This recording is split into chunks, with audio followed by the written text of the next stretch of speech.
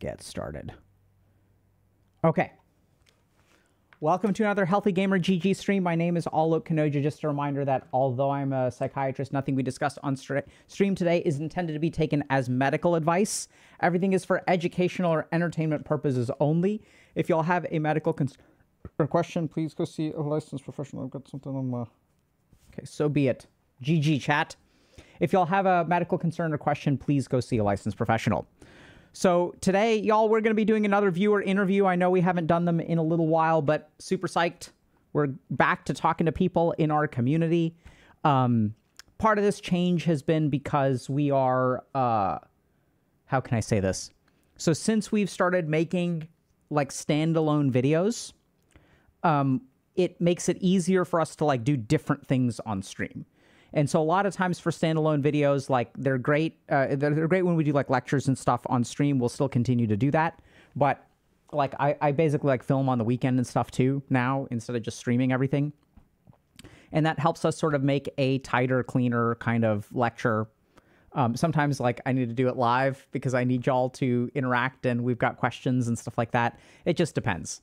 But since we're still making like a lot of different stuff that gets uploaded directly, um, we're streaming kind of separately and it, it, it's all cool. So we've got a viewer interview today.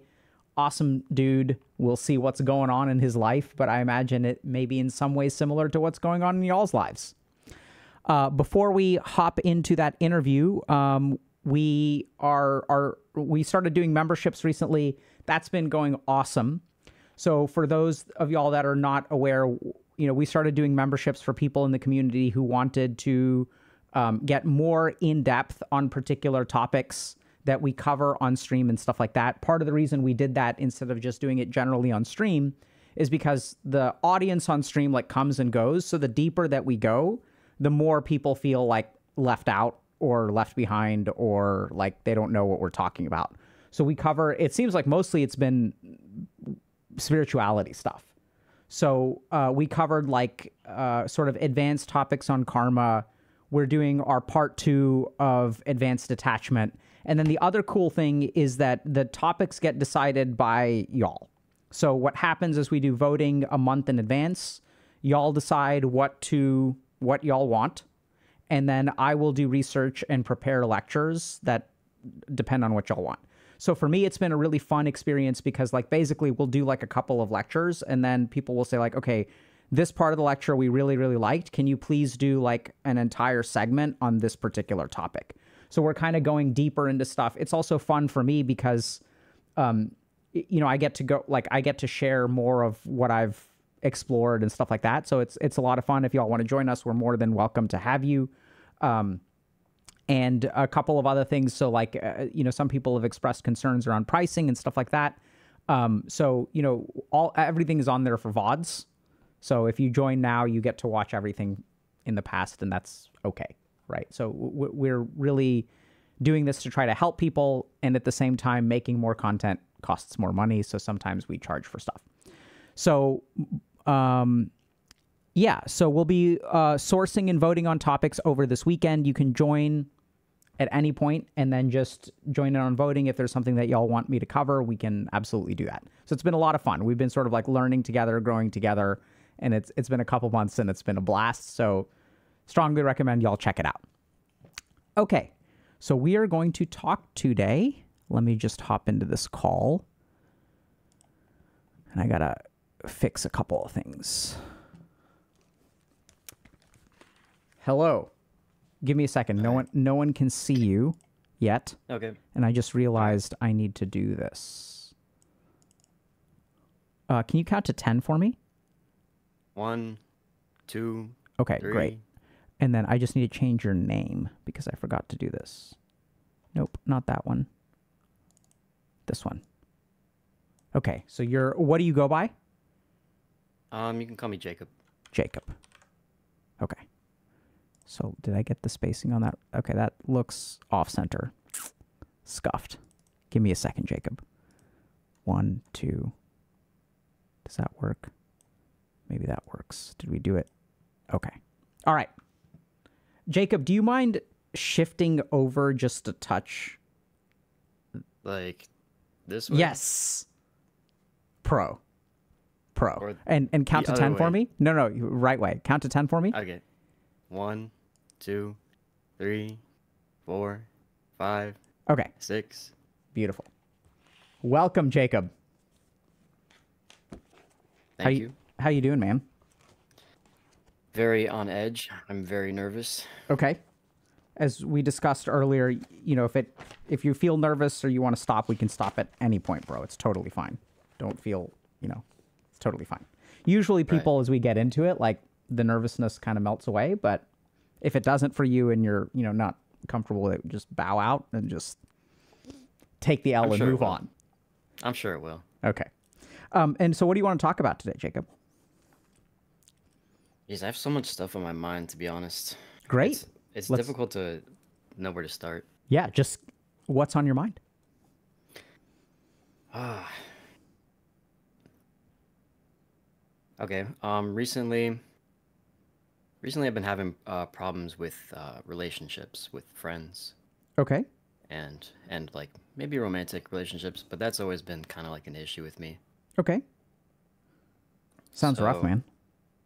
Yeah. Um, I feel like I I've tried my best to maintain relationships or like get better at maintaining them and like reaching within myself to get to other people like friends um, make sure they're doing okay. Because i feel like i used to be terrible at that. I would just kind of like not think about people or i would think about them but not worry about how they're doing. And i feel like to be a good friend you should care about the people around you but um, i feel like it doesn't get returned Okay. Yeah. So I really struggle with um wondering like am I the problem? But then I, I have to think about it and I'm like I really can't I don't think I can be. Maybe I am sometimes, but yeah. So, J- Jacob, you said you should care about the people around you. Do you care about the people around you? I feel like sometimes I don't. Like, Yeah. like I just don't, and it makes me feel like a bad person. Okay. Because you kind of said reaching within yourself. So, like, I kind of got this Yeah. idea of like, you got to dig deep to be a good friend. Yeah, Yeah. And, and sorry to, you know, call, call attention to that. I, I n- n- you know, I. I think just we're, we're just being honest and paying attention, right? And, and Yeah. we'll, we'll get to the judgment later. okay. but first let's just map things out and try to understand where this is coming from and and so um can you tell me a little bit about your relationships like friendships um, what do they look like I've had I've had a few. I'm I mean not totally a popular guy, honestly. Like school was tough. Um I was bullied in middle school um for being gay even though I'm not gay. okay Um yeah, very confusing time of my life. Um but I still had some friends who like stuck with me. I had one that didn't. Um so that really sucked. Now that I think about it, kind of like I try not to think about it too often because I feel like that's really something that like hurts when I think about losing a friend because you're just not cool enough or whatever. Um, but I've had one friend since the third grade, although our relationship isn't exactly on the best footing. And then I've had a friend since I was like five, but we don't really talk anymore. Even though he lives nearby, he's probably like my closest friend, probably has cared about me the most, although I think he struggles with showing it too. And um, another friend that I met in high school when I moved, and we still we still talk often, but he got a new job, so he's been busy. So I've just kind of been like alone. Like I haven't really had any close friendships where I can just talk with people, hang out, play games, or whatever. So i'm noticing that a lot of these friends seem kind of like historic. So we're talking about friends you've had a Yeah. long time for a long time. Yeah. what what's been hard uh, what's what's been challenging about making connections with new people? Just have so much doubt and fear thinking about trying to reach out to someone. And like just hang out with them and have a good time. Because I just like I feel like I'm not so sure about myself. okay I guess I guess that's the way I would explain it. and what are you unsure about yourself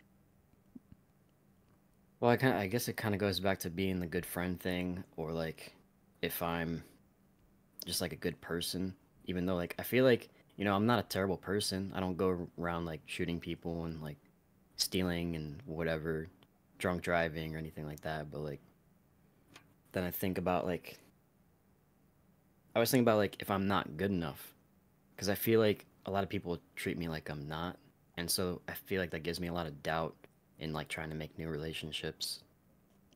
when you say a lot of people don't treat you like you're good enough what does that mean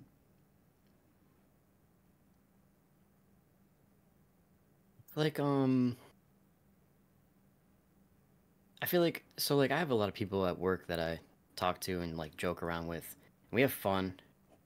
And I would consider like one of them to honestly kind of just be a like a work friend, I guess, like someone you only see at work, but they're like they're just your friend basically.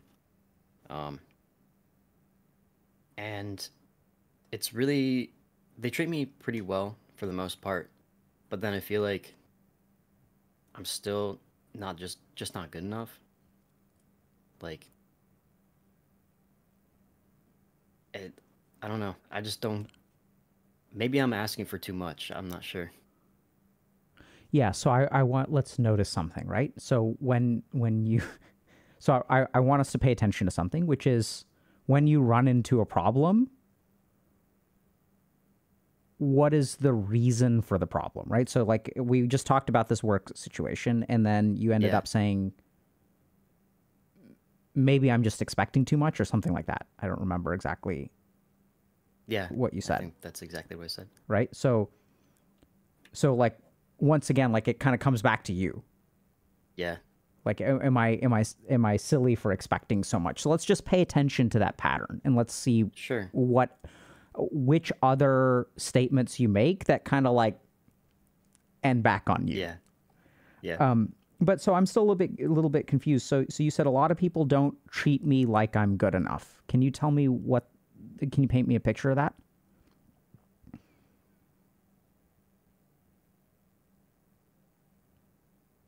I feel like I used to not care so much about people, and I used to not like I was failing in school, and I didn't put all this effort into things, and so eventually, you know, I got older, and like I'm, you know, getting close to thirty. I'm like I'm 27, so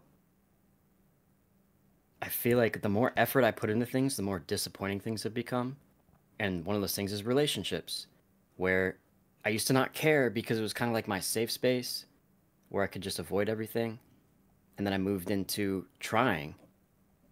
And then I still I don't get what I've been trying for for so long. And so it makes me feel like there's something wrong with me. Yeah, I mean that sounds that sounds like. Let me just make sure I understand you, dude. So on the so you've got a couple of options, right? We can avoid, in which Yeah. case nothing happens and we're not trying, which is okay. Nothing spent, nothing gained. Right? And then on the flip side, we have trying and disappointment, which means Right. still nothing happens, but now a lot spent, nothing gained. And and I'm also guessing that you're looking around and you see like other people. And like other Yeah. people try to make friends, but they get something. it seems so. And and so I'm almost envisioning like there's like a variable, right? So there's like effort equals friendship, but effort plus whatever Jacob is equals not friendship or no result. So there must be some individual factor.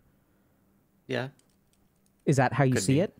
Does that ma- make sense to you or resonate with you or Yeah. okay? Can you tell me what trying looks like? Well, I'm not so good at trying with the whole like, hey, do you want to hang out thing or like whatever. I'm not very good at that at all. But I try to make more effort into like asking people how they're doing. Like that's been a struggle for me because I just never really Cared. yeah, I just didn't care, which I feel like makes makes me a bad person, but like I don't, I don't know. I um I do care about people. Like I want people to be happy, but I'm terrible at showing it. And um How do you know you want people to be happy? because I don't want people to suffer. I don't want people to be upset. I don't want them I don't want bad things to happen to them. I want Sure. them to have good things in life. Let me ask a better question. Sure. Where do you care about people? Where within you does the not wanting bad things for other people come from?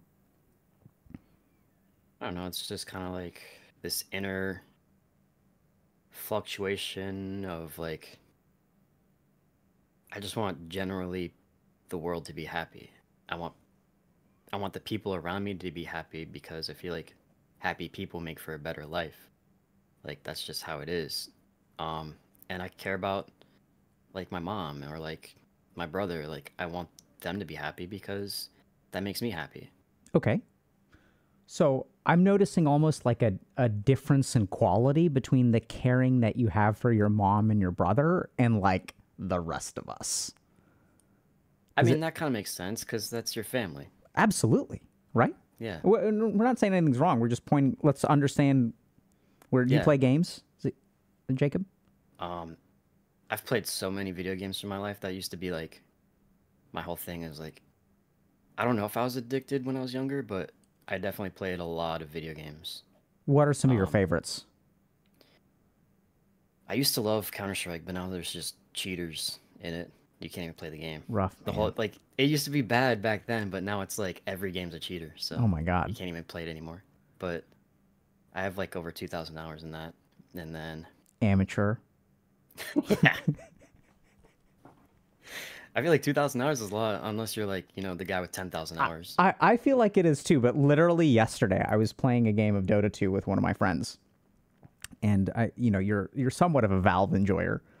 And so Yeah. they were telling me that my account looks like a Smurf because I only have 357 wins. And they're like, anyone under 500 wins looks like a Smurf. But I'm like, dude, I've been playing this game for 14 years and I have like a 40% win rate. And like, I'm not a Smurf. And he's like, yeah, I know, but it looks like it's a fake account.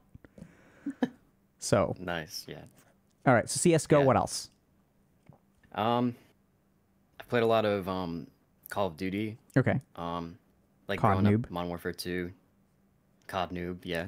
I played a lot of Battlefield too. Everyone was talking like back then, like Battlefield was the better game because it was the one you could fly vehicles or whatever. Which I kind of agree, but also Call of Duty has its own place. Okay. So if we if we look at FPS, you want to tell me more? Other games? Or is Oh that yeah, I've played so many. I played so many games like Terraria. Played the crap out of that. I've played strategy games. okay? Um, I play I play Rocket League. I have like a thousand hours in that. Okay. Okay. So let's focus on FPS for just a second. Sure. So for phase one is like there's a map, right? So like I sometimes rarely make the mistake of playing an FPS game, and I just get dumpstered, like dumpster, dumpster, dumpster, because like you have to know the maps, right? Yeah, for Counter Strike, that's really important. Uh, Or like Call of Duty. F- for me, it feels like I, I don't know, like people just show up, like I'm I'm gonna like walk down this way, and then like I just get shot from behind. I'm like, where did that guy come from? And I'm like, I'm gonna Yeah. sneak around these motherfuckers, and then I try to sneak around and pop. I get popped as I walk around a corner, and I just don't know the maps, right? So Overwatch is probably the FPS I've played the most of recently, which is like years ago. Yeah. So so for phase one, what we're gonna do is we're just gonna like learn the map. We're not gonna judge. We're not gonna say Okay. that something's good, something's bad. We're just gonna like try and understand what does a map look like. Okay. All right. So Alright. you care more about your brother and your mom. Obviously.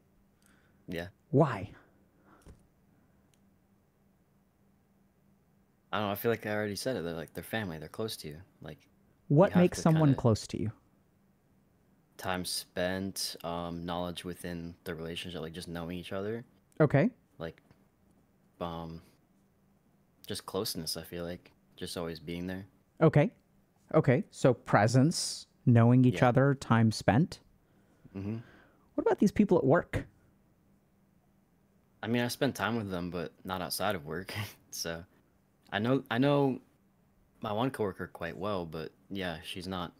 You know, only known her for what a year and a half, maybe. Is that a long time So- or a little time? I feel like a year and a half is not a super long time, but it's long enough to get to know someone pretty well. I feel like Do you know them well? I don't know everything about her, but I know quite a bit. Does she know you well? I feel like she knows me, but not quite as well as I know her. Because I don't, I don't talk a lot about myself when it comes to certain things. I'm kind of closed off as a person. Okay.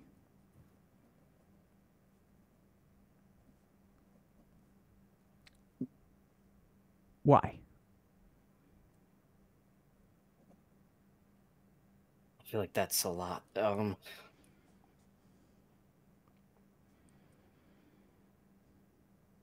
just trying to think of like where to start with that. One reason may be because I don't like opening to people and then end up hurt or disappointed. Okay. Um, I also feel like I just lost it. There was another reason in there, but it's gone now. Interesting. yeah. So then let's just focus on the one that you came up with. Sure, sure. So so uh tell us about hurt and disappointment when you open up. Um, I feel like I try to talk to people about things, and I feel like I'm.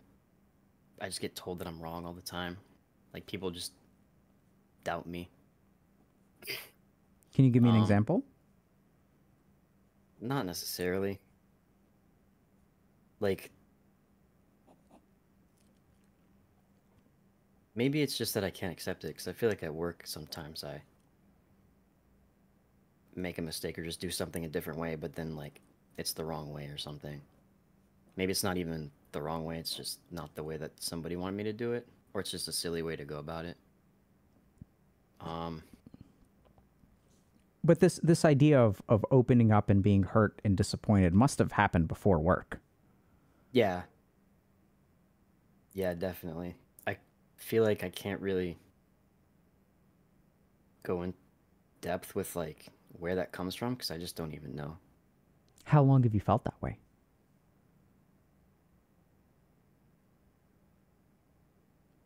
A long time. A long time. When you were a kid?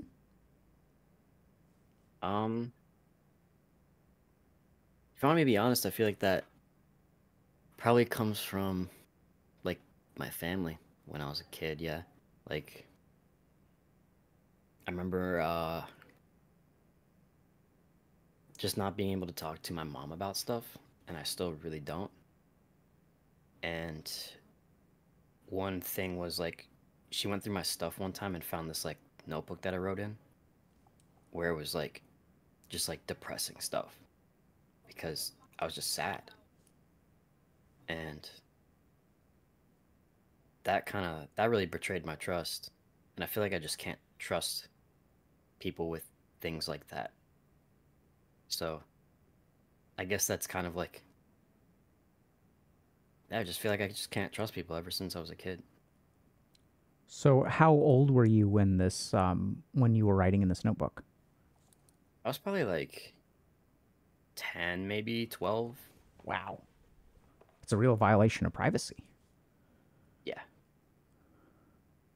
And Yeah. what and you know you don't have to I know you didn't want to tell your mom and here we are no- noting a violation of your privacy, but do you want to do you feel comfortable telling us a little bit about like what you were going through at the time or what was so depressing about your life? You can say no. And we can just work around it. Yeah. Yeah, sh- I'm trying to remember, to be honest.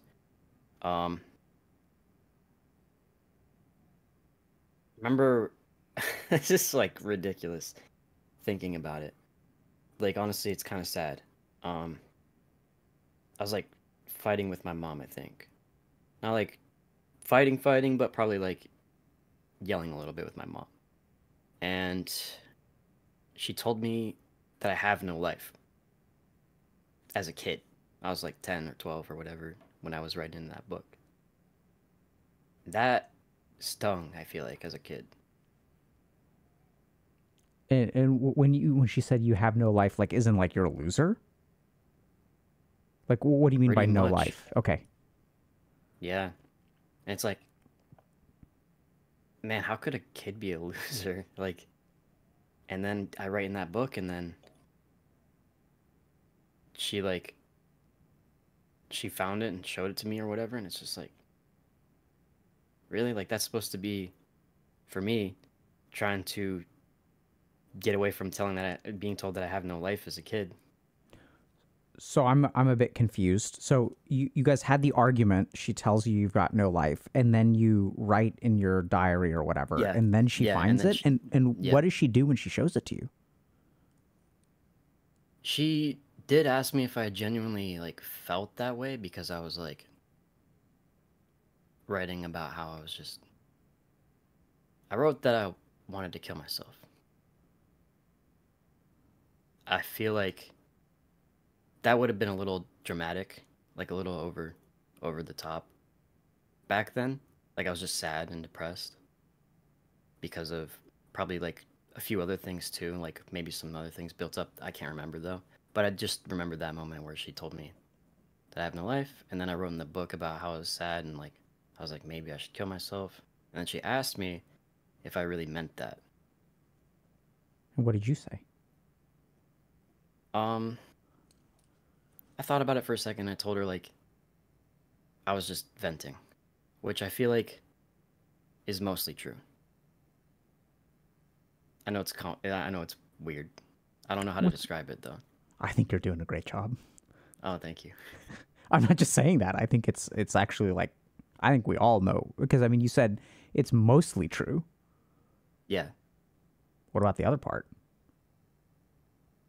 I have struggled with um suicidal thoughts um and depression for some periods of my life. It comes and goes. What's your understanding of why a 10 year old would write something like that? What are they what are they looking for in suicide? Do you know? Now that I like really think about it, that's honestly like kind of messed up that I would write something like that as like 10 or 12. Um I think that I would either be I don't know, that's kind of like maybe cath- cathartic writing about it and getting it out to find some place to get it out. Maybe I was looking for some form of attention because I just felt like I wasn't being heard or seen. Um, although I feel like that might not be true because I wrote it in a book and then hid it. I Well mean, done. it wasn't even really, yeah, it wasn't really hidden. It was out in the open in a bookcase. It was like it just looked like a book. Um. Yeah. Yeah, so- I, no, go ahead. I I wasn't sure what I was gonna say. No, I mean, I I- I think like let's just like take a step back and just think about like let's not when you say kind of messed up, Yeah. like what does that mean? Like feel I, like agree, really it's kind of messed up, but like what in what direction are things messed up? Like I'm confused. Like what do you think is messed up about that Like- situation? the fact that I would be, as like 10 or 12, brought to that point where I would be writing in a book about being sad and depressed, and my mom saying I have no life, and then talking about killing myself. I think that's messed up because, like, a kid should not be doing that. I mean, not that I shouldn't have been doing that, but that, like, they shouldn't be brought to that point. They shouldn't be brought to that point. So I Yeah, want you to once again pay attention to your language. Okay. right? So you did it again where you said, I shouldn't be doing that. And then you said, a kid shouldn't be doing that. Right? Or a Yeah. kid shouldn't be brought to that point. Yeah, I was just trying to like clarify because I feel like saying I shouldn't be doing that would be like saying I shouldn't be doing that, but I feel like overall it's okay for a kid to do that. But the whole thing, the whole situation was kind of not good. It's not a good situation. It's not a good, it's fucked up. yeah. What's fucked up about it? Being sad and depressed or being pushed by other people or like kind of brought to that point. Like that's what I was saying is kind of a kid having nowhere else to go to the point where they write in a book about wanting to kill themselves. Yeah, I mean, I, I think that makes a lot of sense. Like in this, I agree with your assessment of fucked up. So like w- what I see when I see very young children who are express some amount of suicidal ideation or dialogue or whatever, um, you know, if we kind of look at it clinically, I think very few of them are, and we're not talking about you here because we don't really know, but you know, if we look at it clinically, very few of them are actually have like an intent to end their life. So usually like Yeah. if you look at a 10-year-old, a 10-year-old wants their current situation to end, Yeah. right? They exactly. want they want they want the situation to be over. Yeah. And so oftentimes when we're looking at like really young people, what we see is that like they don't know how to make it end. Yeah. right? So like if life is this like I don't have the ability to change my life. And so if I don't have the ability to change my life, like if the life if I just went to sleep one day and I never woke up the next day, then like I would be free of this. Yeah. So oftentimes when we look at it clinically, it's really an expression of distress. Is is how I think about it, right? It's like it's like I don't know how to get out of this and I don't like it. And and Yeah. and is that does that track for you? Yeah. I feel like that's probably a better way to put it than what I was trying to say. I was kind of trying to get to that point, but I didn't really know how to say it. What makes you think you didn't say that? I mean, I realize I use different I- I words, feel like- but Yeah, I feel like you put it in a more like clear and concise way. yeah, well, I mean, sure, but I, I- I think I, I knew what to say because of what you said. I, I thought you painted us a pretty vivid picture of like, Oh, okay. mom calls you a loser, Yeah. right? You like write in your diary because you can't like talk to her about it. And then we haven't really scratched this yet, but we're just going to say it, right? And then my mom finds it. And then instead of like saying yes, you kind of treated me like shit and you really hurt my feelings. You said I was venting. And it sounds like you absolved her of all responsibility. Yeah, I feel like as a kid I shouldn't have done that, but I didn't know any better. Of course, Like, yeah. Right? So so I but uh, like I think it's like what I'm sort of noticing is like there's a lot of isolation. Yeah. Yeah. Like I Some, Um, like I, sometimes I feel like I'm isolated and sometimes I self-isolate. well yeah, I mean because it's like if you when you don't isolate, this is what happens. Yeah. Why, why the fuck would you not isolate? Right. Makes sense, right? Yeah. So, it, so we, were- I I'd asked you this because I was asking about like examples of when you were hurt or disappointed for trying to maybe connect with other people. Beautiful example, by the way. Thank Any others come to your mind? I mean, sad, but It's very sad, yeah. I still think about it, of course, like that much is clear. pops in my head. Yeah. Just only, oh, Like- but only when you don't avoid thinking about it, right? Sometimes you avoid thinking about it. Yeah, I mean, like I'll think about it for a second, then just kind of like move on, Mm-hmm. avoiding it. Yeah. Um. I feel like now. Okay, so another example I could bring up is, um, being bullied in high school. It wasn't terrible. Middle school was worse, because like I said, I was called gay even though I wasn't gay, and I got made fun of it, fun of for it. And um, in high school, it kind of transitioned over a little bit. But so there's that one friend that I was talking about where he kind of went off to do his own thing with his, his friends that he found. Um, I tried hanging out with them in gym, but they obviously didn't like me, even though I kind of like, I just wanted to be with my friend, you know? I didn't really care about the other ones. Um, and they weren't terribly mean to me, but I remember one day, um, this day fucking sucked because I got, I was just chilling, like just goofing off around, um, you know, like the mats you ever like have wrestling mats in a gym that you just lay them down. Yeah, so I was just like messing around in that, and then for some reason they just decided to spray me with Axe deodorant, like spray the crap out of me, and pissed me off. So like I was ready to like fight someone. And so I pushed the mat away and it fell over and then the fucking teacher yells at me. And I'm trying to explain to the teacher, I'm like, they're spraying the shit out of me with axe spray. And they're like, go pick it up. I'm like, they fuck they can pick it up. And I just got like even bullied by my teacher. And then that day I think I was just so fucking sad. Cause like it just felt like nobody was on my side. And then just more isolation. That's rough, man. Yeah, it's Yeah. like, it's terrible because it, you know, schools, they don't care about who's guilty. They'll No, just- they don't. They just kind of really do arbitrarily punish either the thing that you see that's going wrong. They don't. They really don't pay attention to the inciting behavior. Yeah. Right? There's no like investigation. They're not. They don't have the bandwidth for it. I feel like it's hard to. You can't keep track of every single situation that happens. Yeah, it's it's challenging, and and yet you still get yelled at for being the victim of bullying, which is like a story, by the way, that I hear way too much. Of like you know someone getting pushed and pushed and pushed, and you try to talk to people, you try to do something about it, and and what about your friend though, when all this was going on? Wasn't my friend anymore. He found it funny. Either that or I just.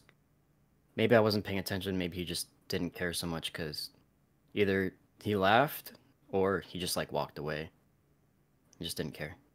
Yeah, sounds I like will it, say though, um, um, that bullying that happened in middle school, I did end up excusing myself to go to the bathroom because I just needed to cry. So I went to the bathroom to cry. Um, and I was in there for like five, ten minutes just crying. And then someone came in and found me, and I was kind of like done crying, but they could tell anyway because you know like, your Yeah. eyes get red and everything. So they like I come back to the classroom. The teacher asked me what was going on, and then sent me to the principal to talk about it. And I I did end up getting like apologies, and the bullying did stop. So I will say there was like a good thing that happened there where they they forced those people to stop, and some of those people, like one of the one of those people, persons, one of those persons, I guess, became kind of like a little school friend. Like we didn't hang out outside of school, but we did eventually like become friendly with each other. So That's pretty cool. yeah, There's hope in the world. yeah, Maybe time, last time we experienced hope was middle school. yeah. Yeah, no, I'm I, I I I can see that. So it sounds like the bullying was more severe in middle school, but also that Yeah. the resolution of it like gave you some hope, yeah. Which which is an interesting principle. It's not something that I've kind of thought about. Like, um, can I just think for a second? Yeah.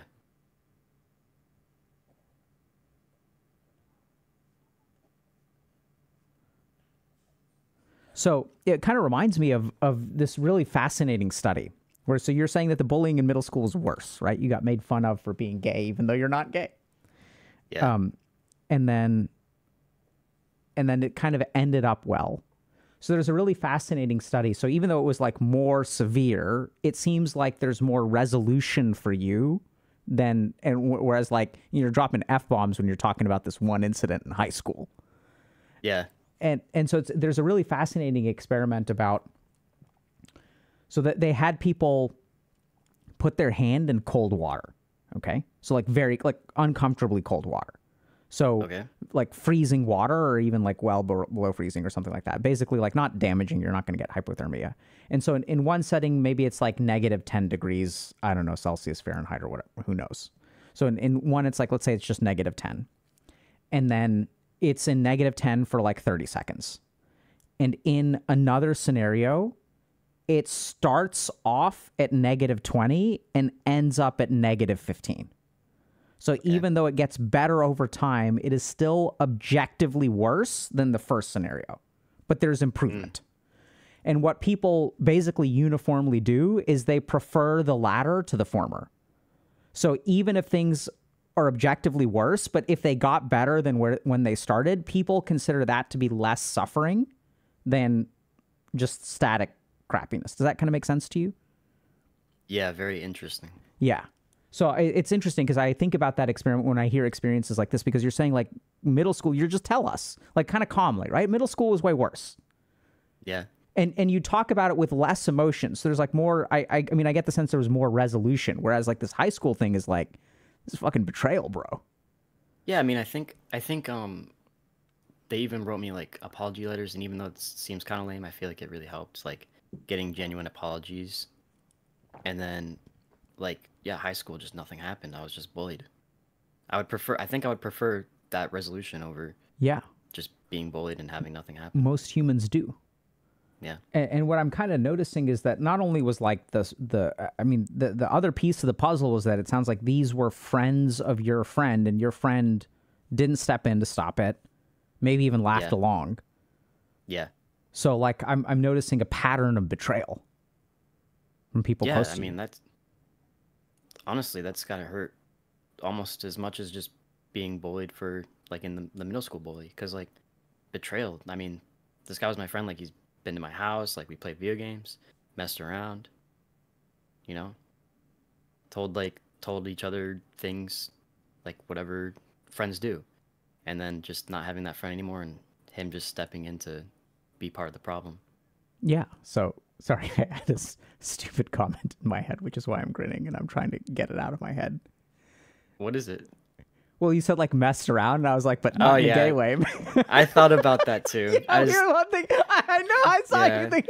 I was like, probably shouldn't have said it like that, but we are all thinking it, right? yeah. but not in a gay way. All right. Well, mind meld, bro. Okay. Getting back to the issue at hand. Okay. Mm-hmm.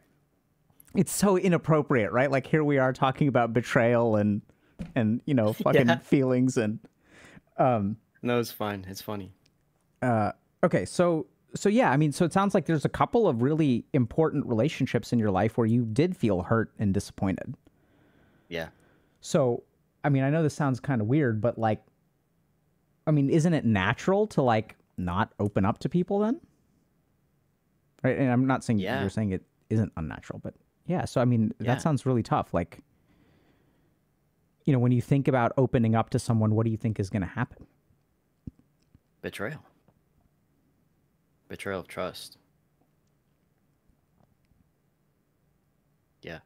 That's the biggest thing. I mean, I'm sure there's a few others, but that's like what I think about every time I think about opening up to people because I can't trust them.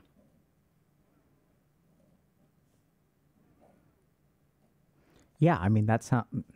What are we gonna do about that? Honestly, I really don't know because like that's the thing is like I think about how like I could be the problem sometimes, but then like really I'm just the culmination of the things that have happened in in the past and these things have pushed me to this point and it's like it might be a problem for me to deal with in life, but not necessarily that I'm the problem. And I just I don't know how to deal with getting away from that self-doubt while also moving towards like healthier like relationship practices where I can actually trust people. Uh, So I'm confused about the self doubt. Okay. So so what what do you doubt about yourself? Well, it's kind of back to like the whole relationship thing, like trying to be uh more caring, like a better person or something, because I feel like I felt like I wasn't good enough, like I was doubting myself that I wasn't extending out enough. Well, wh- why don't like- why do you think you don't care about other people?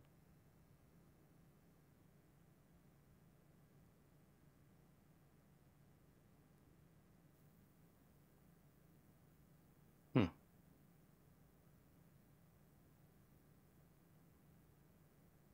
Not really sure to be honest. What happens when you care about other people?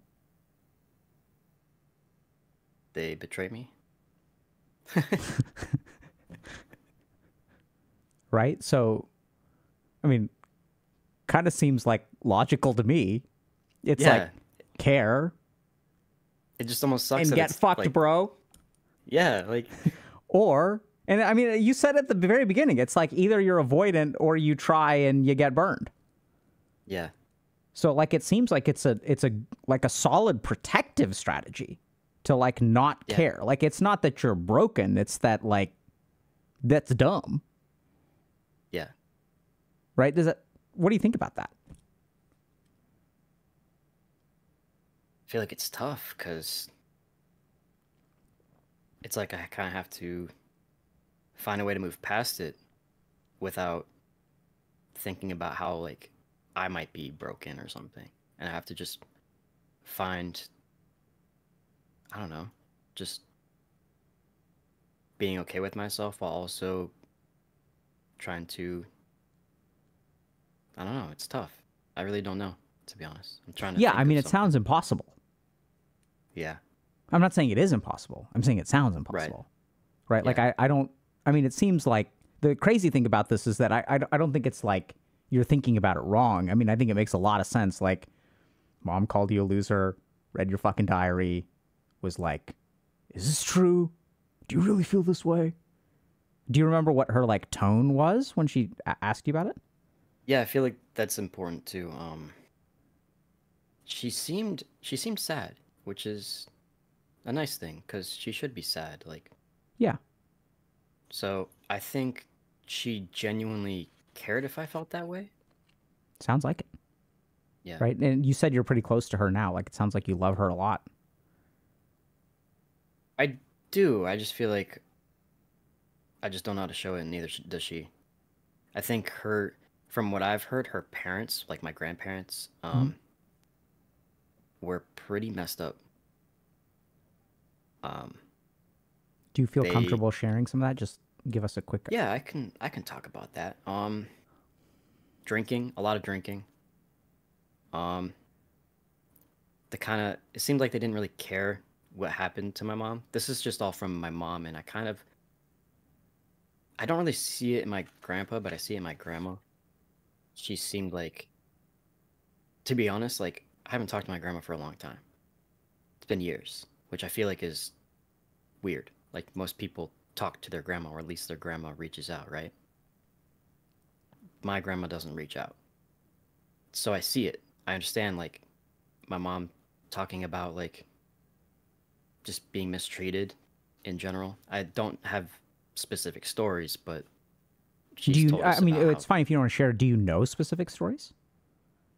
I really don't. Um, I think the most specific I can get is like my mom just going out and her not caring. Yeah. Like so my so mom just yeah, so okay. sorry, I didn't mean to cut you off, but I, I, it's, It's fine. so it sounds like your your grandmother was like kind of mentally checked out, I guess. right? So doesn't care. Her beautiful grandson Jacob is turning 27. Let's call this this sweet boy on his birthday. N- nothing like that. It seems like that's kind of like my whole family. Like my grandpa doesn't really reach out either. Don't I don't I've met my dad before, but I don't know him. Do you know how to care about That's other the people? thing is I feel like I've had to figure it out by myself.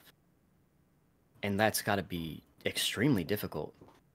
Like You you, should be taught that you should be taught that when like you're a kid, right?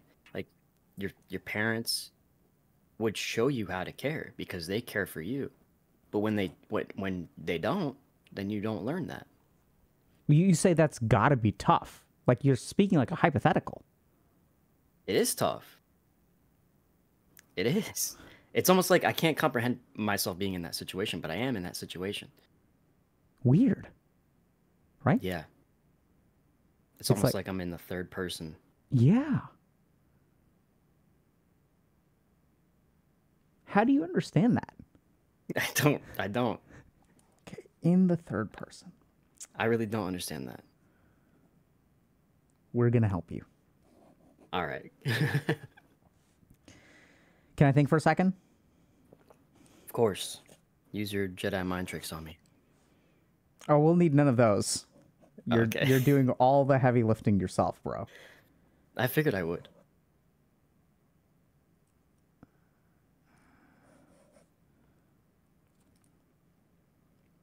Okay, so let's see if we can kind of just make sure we're on the same page. Here's Jacob. Yeah. Jacob wants to be a good human being. Jacob Yeah. strives to be a good human being. Jacob has been is inhabiting this body on this planet Earth, existing in 2024, and is trying to interact with the other humans. And and you find yourself like like like it's hard to care, right? Like like you sort of recognize that like you should care and it's not like you're a bad person you you kind of you know you wish well on people like you want people to be happy like you want the humans to be happy but you have difficulty connecting with them there's uh, some trust stuff where like you know like you've been close to people before. And even if things are like okay now like that comes with a lot of pain. And it comes with a lot of uncertainty. And like when you kind of it's, it's interesting to really say like eh, to hear you say like i would rather go through the middle school thing again. And that makes perfect sense. I mean it kind of makes sense right? Because you don't want to get through you don't want to you never want to go through this whole thing of like okay i've got a friend and my friend fucking left me on the ground covered in axe body spray and like they could have said like they could have even said like it you know fine if they laughed or whatever but when the teacher's like hey jacob your fault. He could have said, actually, teacher, you know, these guys did it, or I did it, or like Jacob, like, you know, th- there's a thousand things, but you, you know, kind of got betrayed there. And so now, like, first of all, it sounds like you don't, you're scared to trust people. Second thing is that it sounds like you don't know how to care about people like in, in some fundamental way hence why you think maybe you're broken in some way. And then there's this whole other thing of like today we're going to talk about jacob in the third person. Jacob will talk about himself in the third person today right so so where you sort of see your life and you use all these like i think pretty accurate phrases about your life but you kind of talk about them like they're hypotheticals right this this would be very difficult to deal with i mean you didn't say that but i forgot exactly what you said but it's kind of interesting so it's almost like you're kind of unplugged. And then if you're unplugged, like I can imagine it would be hard to like connect with other people, Yeah. right? Because you got to be plugged into yourself first. Yeah. So, and then like the last thing is then like now you're faced with this. And it's like, what, where do we even go? How do we even start going about fixing this? Like, am I busted? Do I need to fix myself? Do I need to like learn how to talk to people? Like, do I need to just go to a bunch of therapy and will that fix the problem? Like, you know, what, what do you think?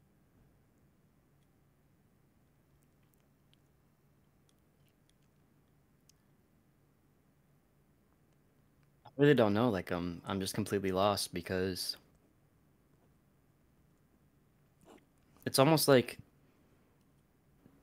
the situations I try it's like I try not to make them matter, but they do matter. And then it's something that's affected me throughout life, even though I tried to lower the Hurt. like yeah, the pain. Investment. Just try to push it away. Or even though I acknowledge it, it's almost like I kind of like think of them not really happening to me because or like not being important to me because I have all all these other things that happen in life. And then it just leads me to this point where I just feel like I'm the problem and I don't know how to fix it. I don't really know where to go. Yeah. W- what else do you do to push things away? Video games. Okay. Anything else? Lots of video games. Music. I've made music for like eight years now. to push things I've away? played. Yeah. How does that work? Well, when you're sitting there messing around, like I use FL Studio, so I just load it up. I start making music, and then I just sit there and I don't have to think about the things in the outside world. I just sit there and all that's all I got is this music program. I'm just making beeps and boops and kick drum, snare drum, and everything else is pushed away. Okay, that's pretty cool. Okay. It's a distraction more than anything. I feel like. Do you think that some of your life experience comes out in your music? Probably. I mean, I have like a lot of stuff that I've made. I mean, I've been doing it for eight years, so hundreds of projects. Some finished, hundreds finished, and probably thousands not finished, thousands deleted. And there's all sorts of stuff. There's sad stuff, there's angry stuff, there's chill stuff. So I feel like all those life experiences do kind of come together in those, and then they just get put out. And I feel like that's kind of cathartic, right? Like making something, putting that emotion into it, and then that emotion's kind of in that thing. It's not that it's gone, but you've kind of put it into a thing. You've built something with that. That sounds pretty cool. Yeah. Why'd you start music eight years ago?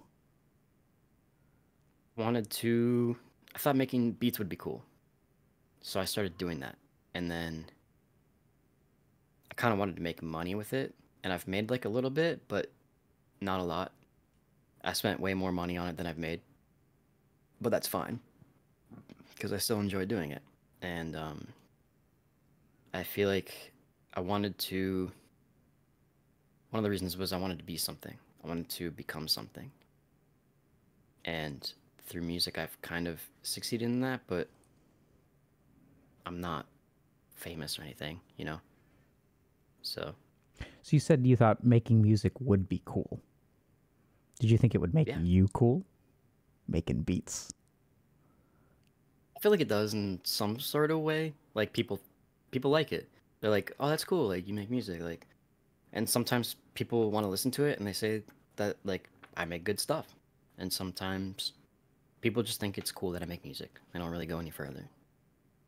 How does that make you feel? It feels good. It's nice that especially like recently like I haven't really gotten a lot of support from my family.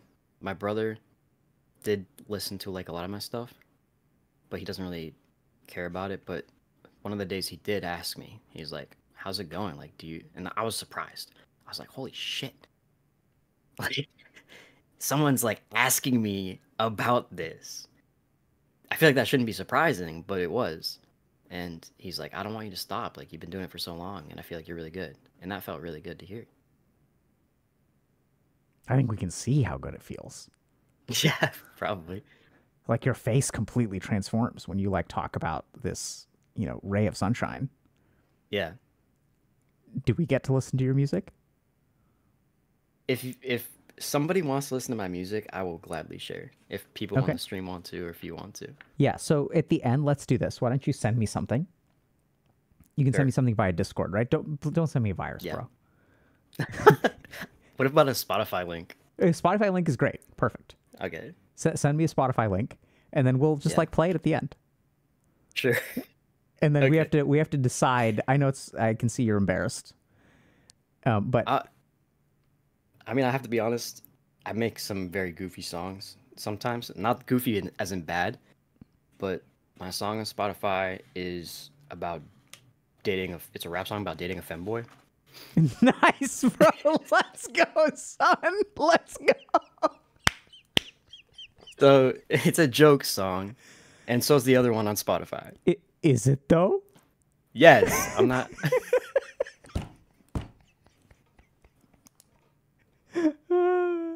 A rap song about dating a femboy. Okay. Yes, there's Well- also one about fucking an alien. So Okay. Well, there's definitely something in there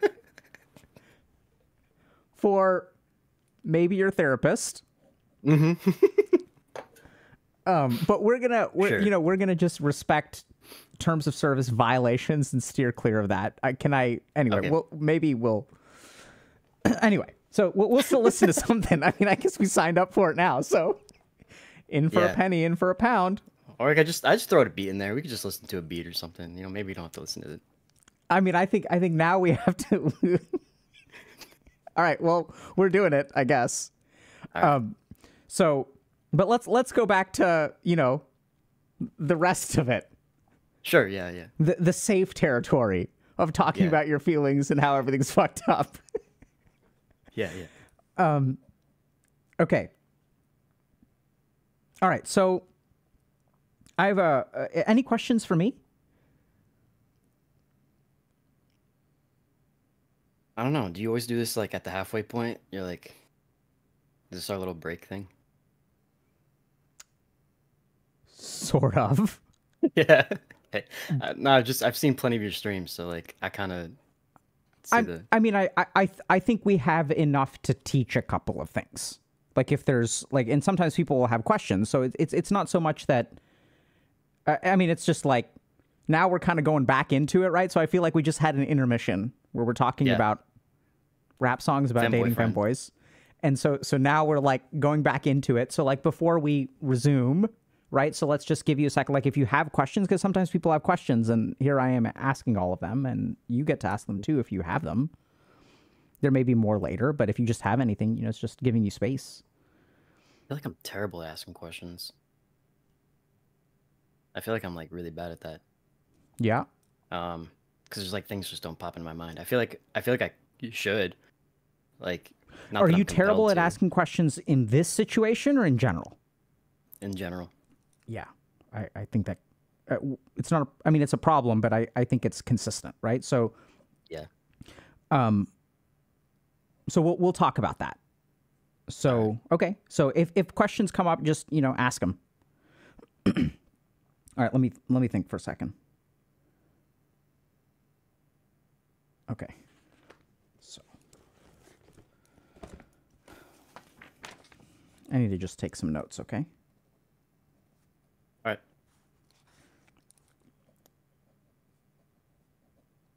Did you go to birthday parties growing up? Yeah. Did you have your own Yeah. birthday parties? Yeah. What were they like? The one that I, that first comes to mind is um. We had our like we had our basement in our in our house, and then it was wasn't completely finished, but it was touched up. Had drywall and stuff, and um. I think it was like three of my closest friends. I think my cousin was there, and then another friend was there. So quite a bit of people were just chilling in the basement. My mom made food. Like we had food, we had video games. It was a pretty good time. You had one birthday party? No, that wasn't the only one, but um, that's the one that I remember the most. Okay. because it was just a good, it was just a great birthday party. But you would get like invited to birthday parties and stuff like that, would go and I feel like not from like, well, yeah. So I usually just went to my one friend's because I feel like my other friend didn't really get birthday parties. His parents, not not the best people. Okay. Um And and how do you feel about this conversation? I don't know. It's interesting just like thinking about it and exploring like I probably didn't go to too many birthday parties, so it's kind of interesting thinking about that. Yeah, so I mean like as a whole, like I, I know you felt a little bit uh, usually people feel a little bit nervous kind of going into it. Like do you feel like it's uh, we've been okay so far? I mean, you know, I know we've talked about some a, a lot of stuff that's like kind of personal. Yeah. Um, And I would say I've been completely nervous and anxious this entire time, but I'm just I'm going through it. So Okay. I I find this man. um yeah, I find this just interesting and fun. Yeah. So I, I think it's okay to have both of those feelings. I don't feel nervous at all. I feel like this is fantastic. So so Yeah. I, I know you feel nervous and, and there's a power dynamic in the situation and stuff like that. But I, I think it's I, I think you're it's been an absolute pleasure to talk to you. So I, I think you're quite eloquent actually. So so there's a big difference Thank you. between thing describing confusing things accurately and speaking in a confused manner. So what I, why do you why do you find it fan- fantastic? Just because I'm so good at explaining things or like detailing it? When I said I found it fantastic, what was your reaction? Well, it's nice. It feels good because it. I feel like it means I'm doing a good job, and I just want to do a good job. Right, right. So, so you just want. I think you're doing a great job. So I'll tell you why. So I, I think you're very good at articulating. So I think life is confusing, Yeah. and the problem is that a lot of people, when they articulate the confusing nature of life, they feel like idiots. Mhm. But there's a big difference between being an idiot and having a life that makes no fucking sense and articulating it properly. So I think you've actually painted a beautiful picture of what is very common for a lot of people, which is like, I'm stuck in this situation.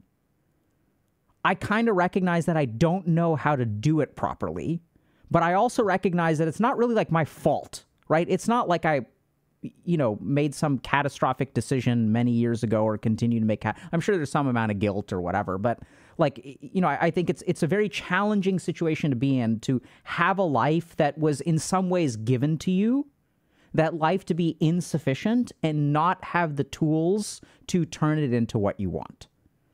And then you're stuck with this basic thing of like, okay, if I can't put together my life, and you can acknowledge that like some of this stuff was not lucky for you.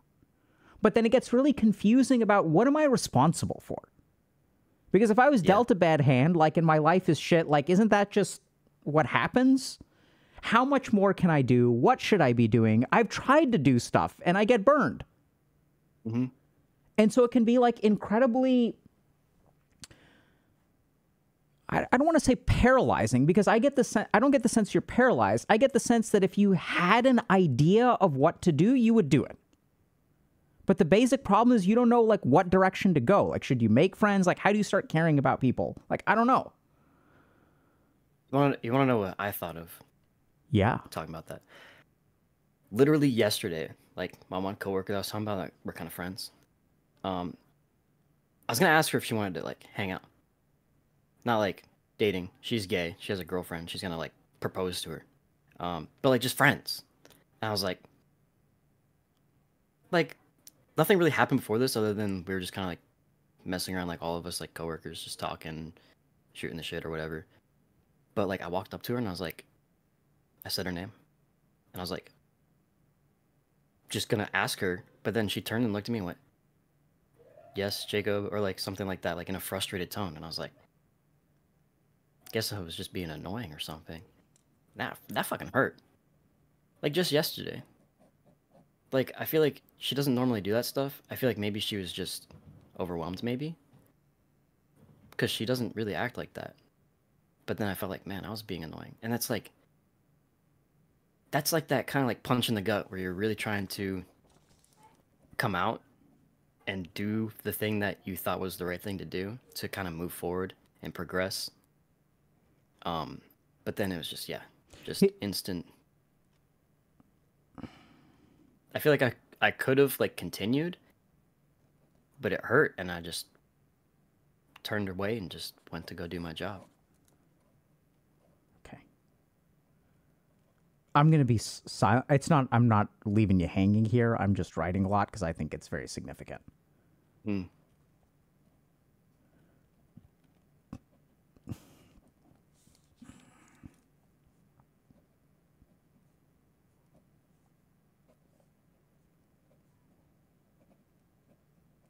Do you understand how other people feel? Fuck no. Okay. I've struggled with that for so long in my life where like I thought I was like Yeah. I thought I pretty much just had I don't know, what is um what is autism like the category for autism? Like it's a like Autism spectrum kind of- disorder, neurodiverse. Yeah, but it's also yeah, so like I'm like thinking like I don't know how to communicate with people because I'm just there's something wrong with me. Like I was born wrong, but Maybe you're well, not to say not to say autistic people are wrong, but Yeah. you know what I mean.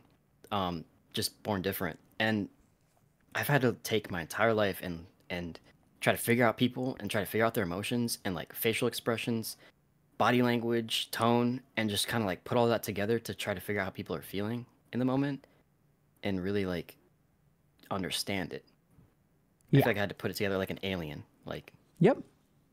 I, I imagine we haven't even gotten to romantic relationships, but I imagine romantic relationship is like trying to have sex with an alien, yeah, right? sure, sure, yeah. Do you know anyone who makes music about that? By the way, I, I think it would be Um, really interesting to you know if someone made music about their experience of, you know, Like like legitimate like musicians or just trolling you, man. because no, because I do. yeah. I mean, are you a of songs that legitimate musician? Yeah, I definitely Mm. am. Wow. Look at the balls on this guy. I mean, I work hard for my music. I've I've struggled for eight years, and I feel like I feel like some of it sounds really good. Are we going to get to hard to listen to the good stuff or the? Fem, honestly, Femboyfriend is a banger. I'm I'm not gonna lie. Okay, let's. right. Okay, I'm I'm I'm invested, dude. Let's go. All right, Uh, femboy, what? What's the name? Femboyfriend. Femboy It's like friend. femboy and boyfriend, but femboyfriend. Oh damn, Yeah, son, yeah, that's good. yeah. Yeah. Okay. Give me a second, like a minute. Mm-hmm. Okay.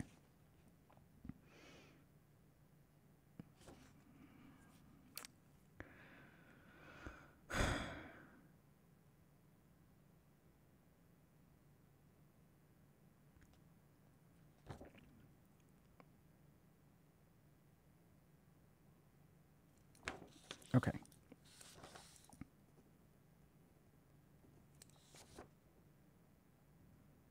If you need to use the bathroom or anything, go for it because I'm going to need a couple minutes. Okay. Couple and minutes, that's for damn. stream can go. Y'all can go take a bathroom break because I'm just trying to put everything together. Okay. Jeez. Okay. All right. Um. Yeah, I'll be right back.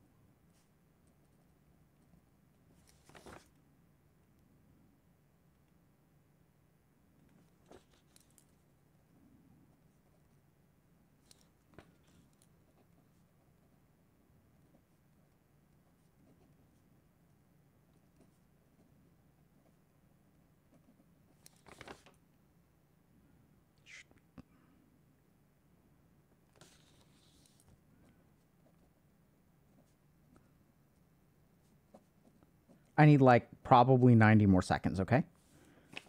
No problem.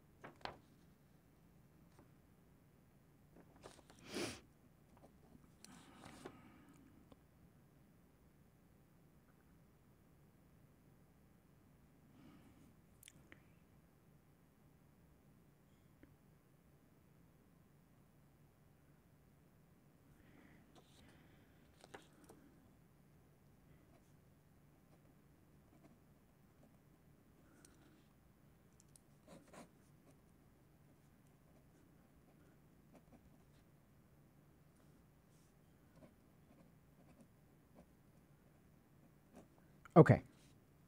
So let me ask you a couple oh, a couple other questions. So you said that yes uh, yesterday you talked to your friend and Yeah. she seemed annoyed by you and you said maybe she's overwhelmed. Yeah. What should you do if a friend of yours is overwhelmed?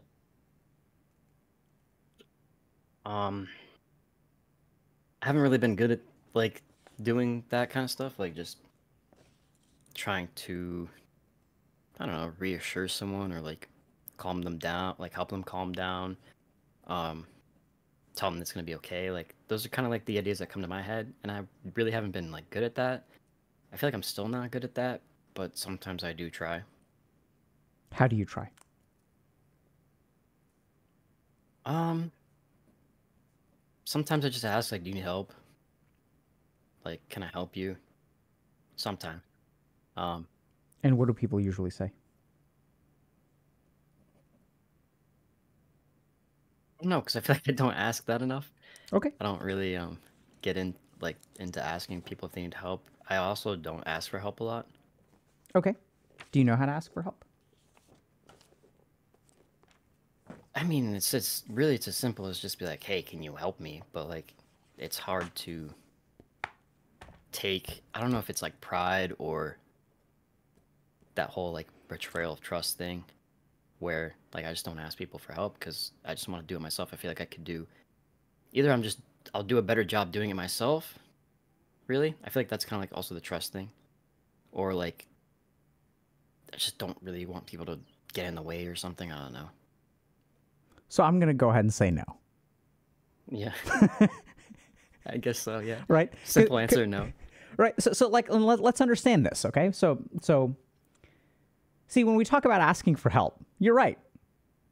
The words are the easy part. The hard part about asking for help is not in the words, although even that can be difficult for some people if we're not taught.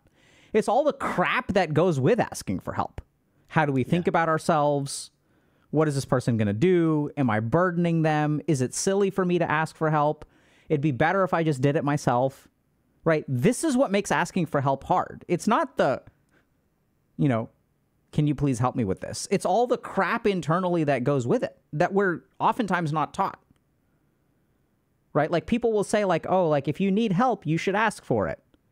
But what do I do when I ask for help and then all the kids in my class make fun of me because I'm such an idiot?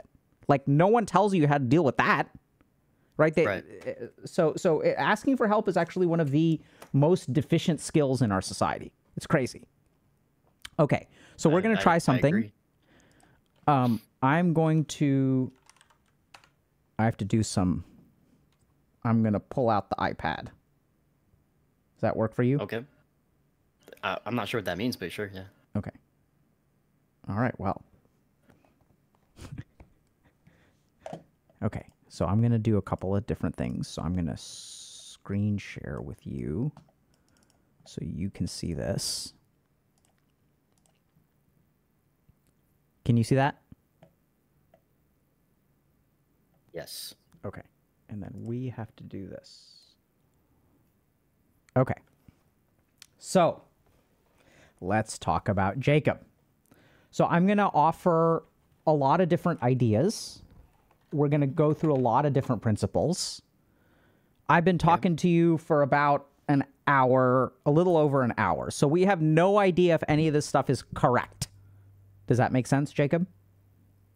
Um, like, like, These are not answers, these are hypotheses. These are things Okay. to think about. These are things for potentially you to continue to work on, right? So I, I understand you're Yes. doing some personal work nowadays. So these are just angles for you to consider. But I think there's a lot of general stuff about your situation, which I've seen a lot, which there's a lot of data about. So we're going to kind of illustrate some of those principles. Does that make sense? yeah, So here's you. And you are confused. What are you mm-hmm. confused by? Am I broken? I don't know exactly how to care. But I don't not care. Right? I'm kind of like capable of some relationships. So I can do it, but I don't know how to create them. So there, it's in there, right? So and and then like I want to connect, but it's a bad idea. Make sense? Does this feel mm-hmm. pretty accurate so far? yeah, And then going back to the am I broken, like I acknowledge bad shit happened. But it isn't really my fault. But I still have to deal with it. We Yes. good? Mhm. Would you say that these kind of like resonate with you some? yes. Okay. So how how, how is this picture? The picture is like pretty accurate, not very accurate, like in the middle. Where are we? I feel like you're pretty much on the spot. Okay. So first thing is like no wonder you're confused because these things seem genuinely confusing. Right? Mm-hmm. Okay. So now let's understand a couple of different things going on. So number 1, betrayal of trust. At times in your life, you've had relationships. And these relationships were people that mattered to you and it and like when you're close to someone right like we saw your face like absolutely light up when you just like when your brother was like hey how's your music going spontaneous right they, they, Yeah. they, they didn't have to you don't have to ask him you'd be like hey like hey i've been working on music and hint hint nudge nudge wink wink It- ask me about it it blew my mind. yeah, right. So blew your mind, and like that's crazy, bro. Because like that should not be a once in a lifetime occurrence, No, right? And it, no, it and, and it's sad. So you've had a couple of things, right? We talked about your mom, and it sounds like your mom is actually like a fantastic mom. I, I know we're we've talked about some of her negative experiences, but I'm not getting the sense that she's like a bad woman or anything. In fact, quite the opposite. Is that fair? Yeah, Yeah. So I, I think sometimes we just when we share an isolated example, we can make people sound bad, but like it sounds like she really does care about you and and does what she knows how to do. yes. And then you had this high school friend, this fucker. Let's call it the axe incident. Sure. Axe incident. That makes Right. it sound even worse. right? And then you discover it's the body spray, and then you realize it's even worse than a real axe. Oh my god. Real axes we can deal with the fucking body spray. Oh my god. This stream oh, dude, sponsored by like- Axe body spray. Felt like I was in World War One, bro. It's like mustard gas. All right. I'm sure there's a femboy joke somewhere in there, but I can't quite connect the dots. Femboys don't wear Axe body spray. That's what it is. I knew it was there Fem- somewhere. Thanks a lot, Femboys, buddy. femboys are not sponsored by Axe. Yeah. Okay. Um Okay. So All right. So so there's a betrayal of trust, right? And then what happens is like there's almost a responsive callus that forms, right? So uh, maybe I don't know if I spelled that right, but when we kind of think about so, so it's kind of like you, you try to avoid thinking about things. You try to avoid caring right? Because you have to avoid caring because you don't want to get hurt and when you trust people like sometimes you get hurt. And so since you avoid caring it kind of gets hard to care. And we talked a lot about like you don't know how to care right like you care about mm-hmm. some people but it's like hard for you to really like understand and care and and stuff like that I'm, i mean i'm making it sound make it sound like you're just so so awful at this No, stuff it's, but it, it's true. It just it no, that's what I've done my like my whole life is like avoid caring. Yeah, avoid caring, right? Because caring hurts. So like we're just going to stop doing that. So then of course like you're going to have difficulty with relationships. So let's talk a little bit more about avoidance of caring. So not only is this going on where you like avoid caring, right? You actively avoid it. But or actually let's call this difficulty of caring.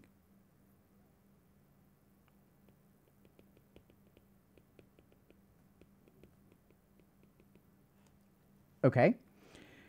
And you kind of say that you should care, but you're not quite sure how. And then, like, then we get to a couple of interesting things. So, a weird question for you, Jacob. How does one learn how to care? I feel like that's shown to you. That's provided in examples when you're growing up. And were you shown that? No. no. Nope. Right? So you have difficulty caring. So one piece is you're avoiding it. Second piece is you just weren't taught.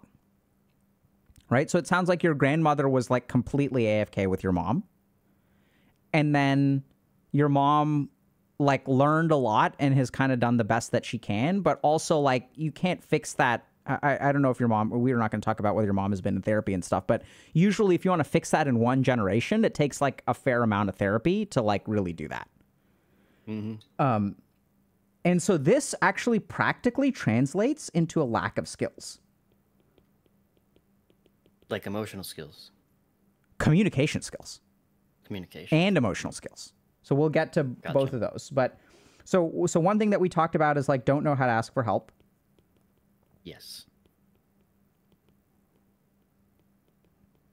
But let's understand this. This example you gave about yesterday is perfect. Right? So how did you feel when your friend was snappy with you? I felt hurt, but a little bit understanding because I feel like maybe it's just the wrong time to ask. Very good. Okay. So when you say it's the wrong time to ask, why would you think that? Because she seemed frustrated or overwhelmed. She seemed overwhelmed. Yeah. And when a friend of yours is overwhelmed, what should you do? Help them out. Do you Um, know how to do that? No. Right. So this is exactly this is a lack of caring, right? So it's not that you don't care, it's that you don't know how to care. So this is a case, a prime example of like your friend is having a tough day. You recognize she's having a tough day. Could you be autistic? Maybe. Who the hell knows? But you're you're aware enough and empathic enough to have a probably pretty good hypothesis that this is out of character for her. There must be something kind of going on with her and you, you sort of recognize, but you just don't know what to do. Right? So don't know how to care. Mm-hmm. And when we talk about like, you know, your your friendships, so so it sounds like you sometimes put in effort to make friends, and that doesn't really work out very well. We sort of talked about that at the very beginning. Do you remember that? Yeah. Well, yeah. So uh, can you tell me a little bit about like what like any examples come to mind?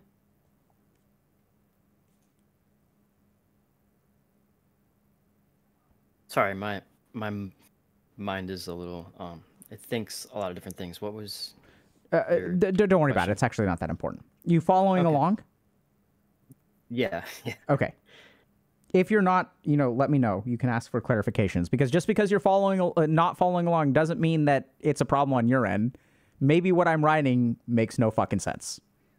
I feel- Right? I feel like it does. Okay. My, my brain just kind of goes a lot of different directions sometimes. Okay.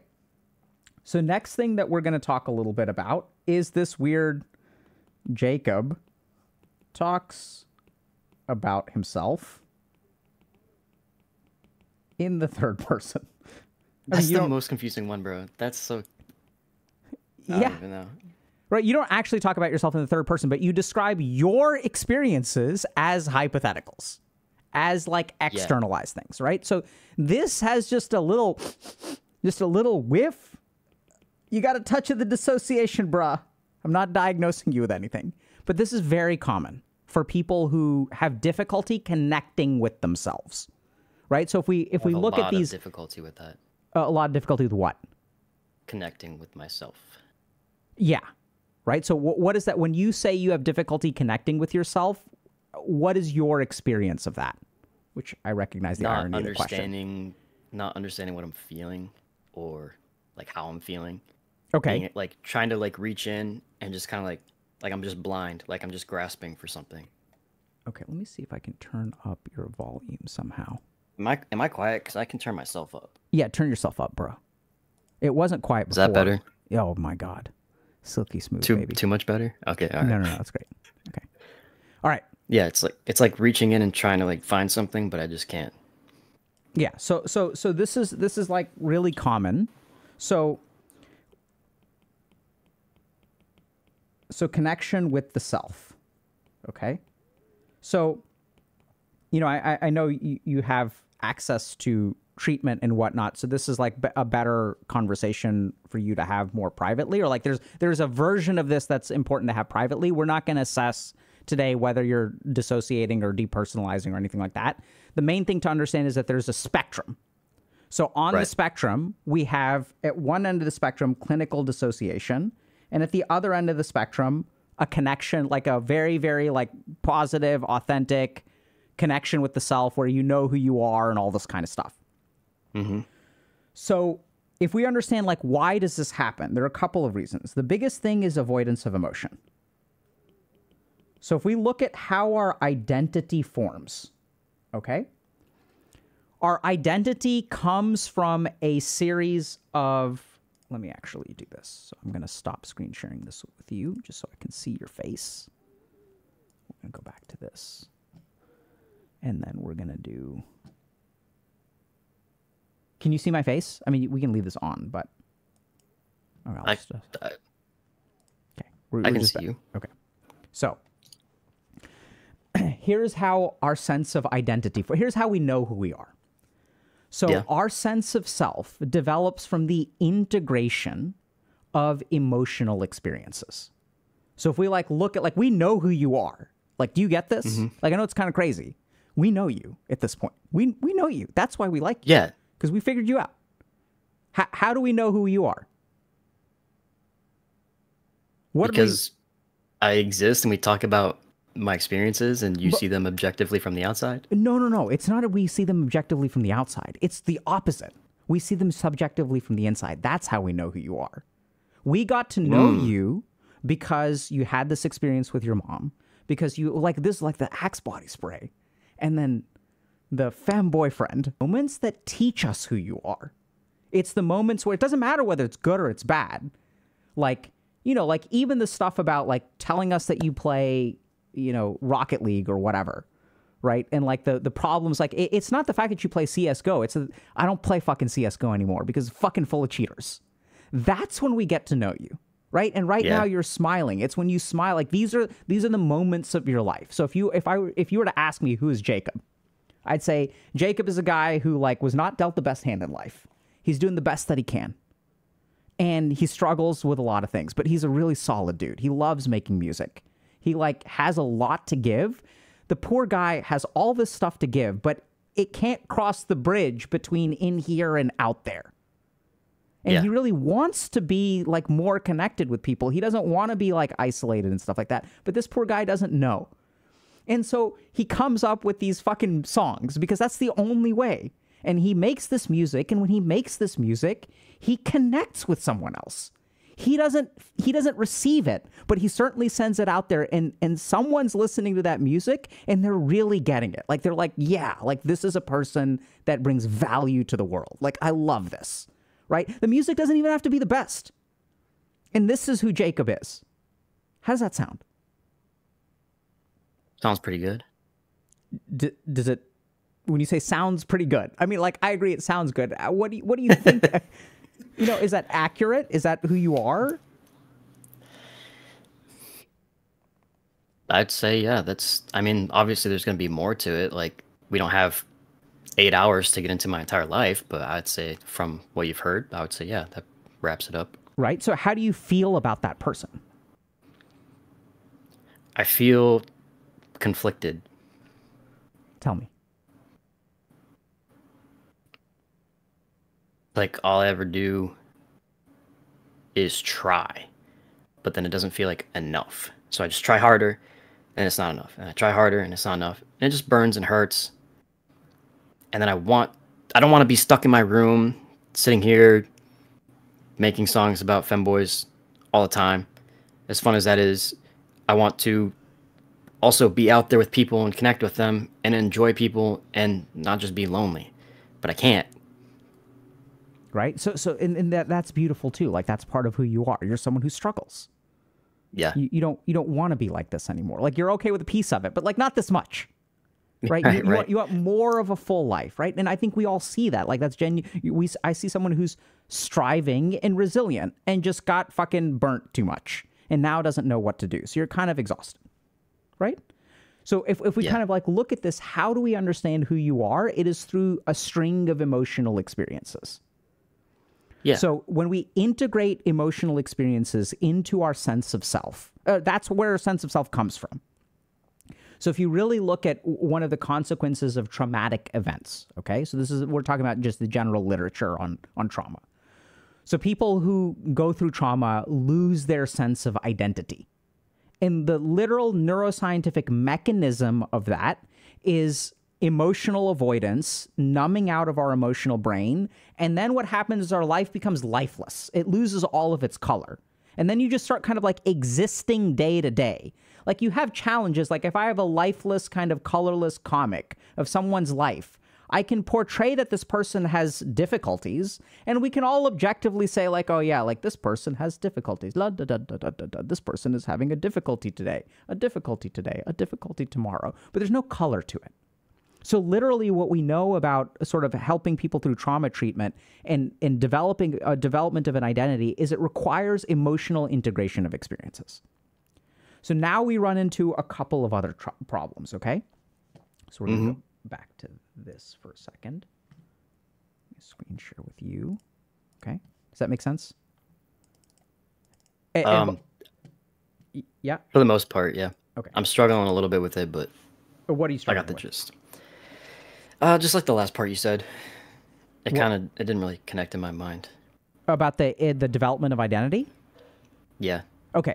So so w- when I tell a story about my identity, Yeah. my identity is not developed by what I ate for breakfast today and what I ate for breakfast 10 years ago and what I ate for breakfast 20 years ago. Does that make sense?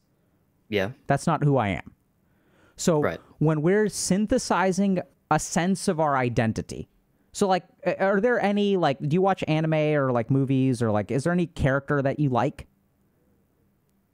I Um, know it's kind of a fucking random question. you, you want to know? I feel like this is kind of edgy. It's like um, it's almost kind of edgy, but not really. Maybe It's I fucking think about that way, bro. but you know, you know the show Burn Notice. No. Oh Okay, yeah, yeah, so yeah, it- yeah, yeah. It was on yeah, like USA, right? Yeah, yeah. I I love Michael Weston. He's just a badass, bro. He just fucking kicks ass and fucking shoots people and takes down multiple government conspiracies. And I feel like we could all strive to be that. Okay. So so it's not edgy, it's cringe. It's a little, yeah, it's a little cringe. I feel like. Okay. Yeah. But but it, it's a pretty good show. So so but w- when we think about like who is that person? What are the moments that define Michael Weston for you? Well, the reason why I was like thinking about it, like how it was like edgy, but we, we came to the conclusion that it wasn't um, that was cringe is because he's very disconnected and cut off uh, emotionally, and I feel like I really relate to that. Okay. Right. So, so even then, so I know it sounds kind of crazy. So it's fine that you relate to him, but there are going to be mo- emotionally impactful moments in the show where he is disconnected. Yeah. Does that make sense? Yeah. So that's actually a really emotional moment in the show. It's like, oh, Right. this poor guy is so disconnected. So if we look at our lives, literally our sense of identity is made up of emotional milestones. That first time, like, so your your life is made up by emotional milestones, right? It's like this time when your mom read your diary, or your mom read your journal or whatever, found this book, this moment where with the Axe body spray, and it's so vivid, there's so much emotional energy. These are the moments that define us. This moment where your brother reached out to you and was like, "Hey, you should keep making music." These are emotionally charged moments. Those that's how we get to know you. So anytime we avoid our emotion, we stop developing our identity. We become trapped where we are. Because all you have is those emotional experiences. Does that make Yeah. sense? Yeah.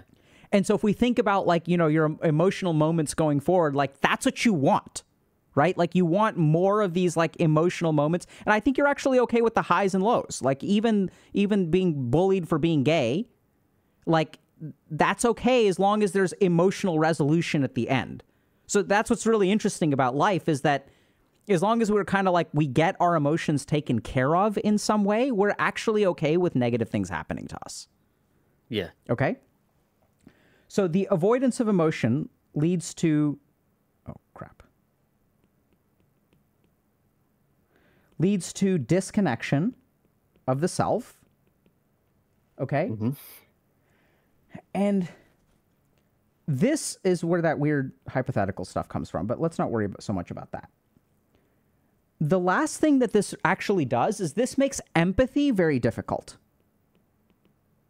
Okay? And now like now we're going to get to something that's kind of weird okay? So just bear with me. So here's you. And when you're dealing with the aliens those are antennas okay? Yes. and like when you don't so empathy what, what's your what's your understanding of what empathy is Um, being able to. Well, there's sympathy and empathy, and I kind of confuse the two. I think empathy Everyone is the one does. where. I think empathy is the one where you are able to feel the emotions because that's just some something somebody's going through, and you can tell that they're going through something. what is sympathy Sympathy is where you sympathize because you feel the same thing, like you felt the same thing, right? Okay. So, uh, uh, uh, yes and no. So, so let's understand this. So, Okay. empathy is being able to connect your emotions to someone else's emotions. You'll actually feel Yeah. the same thing. I'm an empath. An empath means that we are connected. There's an umbilical cord. So, if someone else is feeling sad, I'm feeling sad. I think you're actually better at sympathy than you are at empathy. Because I asked you, like, do you know what, like, you know, I asked you some question, you were like, fuck no, I have no idea what someone else is actually like feeling. Like, you know, Yeah. so the alien is is capable of sympathy. The alien is like when we look at like a fucking rhino in a zoo, we can look at this rhino and we can say, man, this is so sad, like poor rhino. But we have Yeah. no idea like if the rhino is happy or sad. We have no fucking idea what the rhino is feeling. Like we can't tell. So we can have sympathy for animals in a zoo, but we can have empathy for like I have empathy for you because I know what it's like to be bullied in high school for uh, middle school for being gay. Like big part of my Oh, so experience you too. went you went through the same thing? I don't know if I went through the same thing, but I certainly was bullied a lot. And generally speaking, one of the mechanisms of bullying was an attribution towards homosexuality when I was growing up.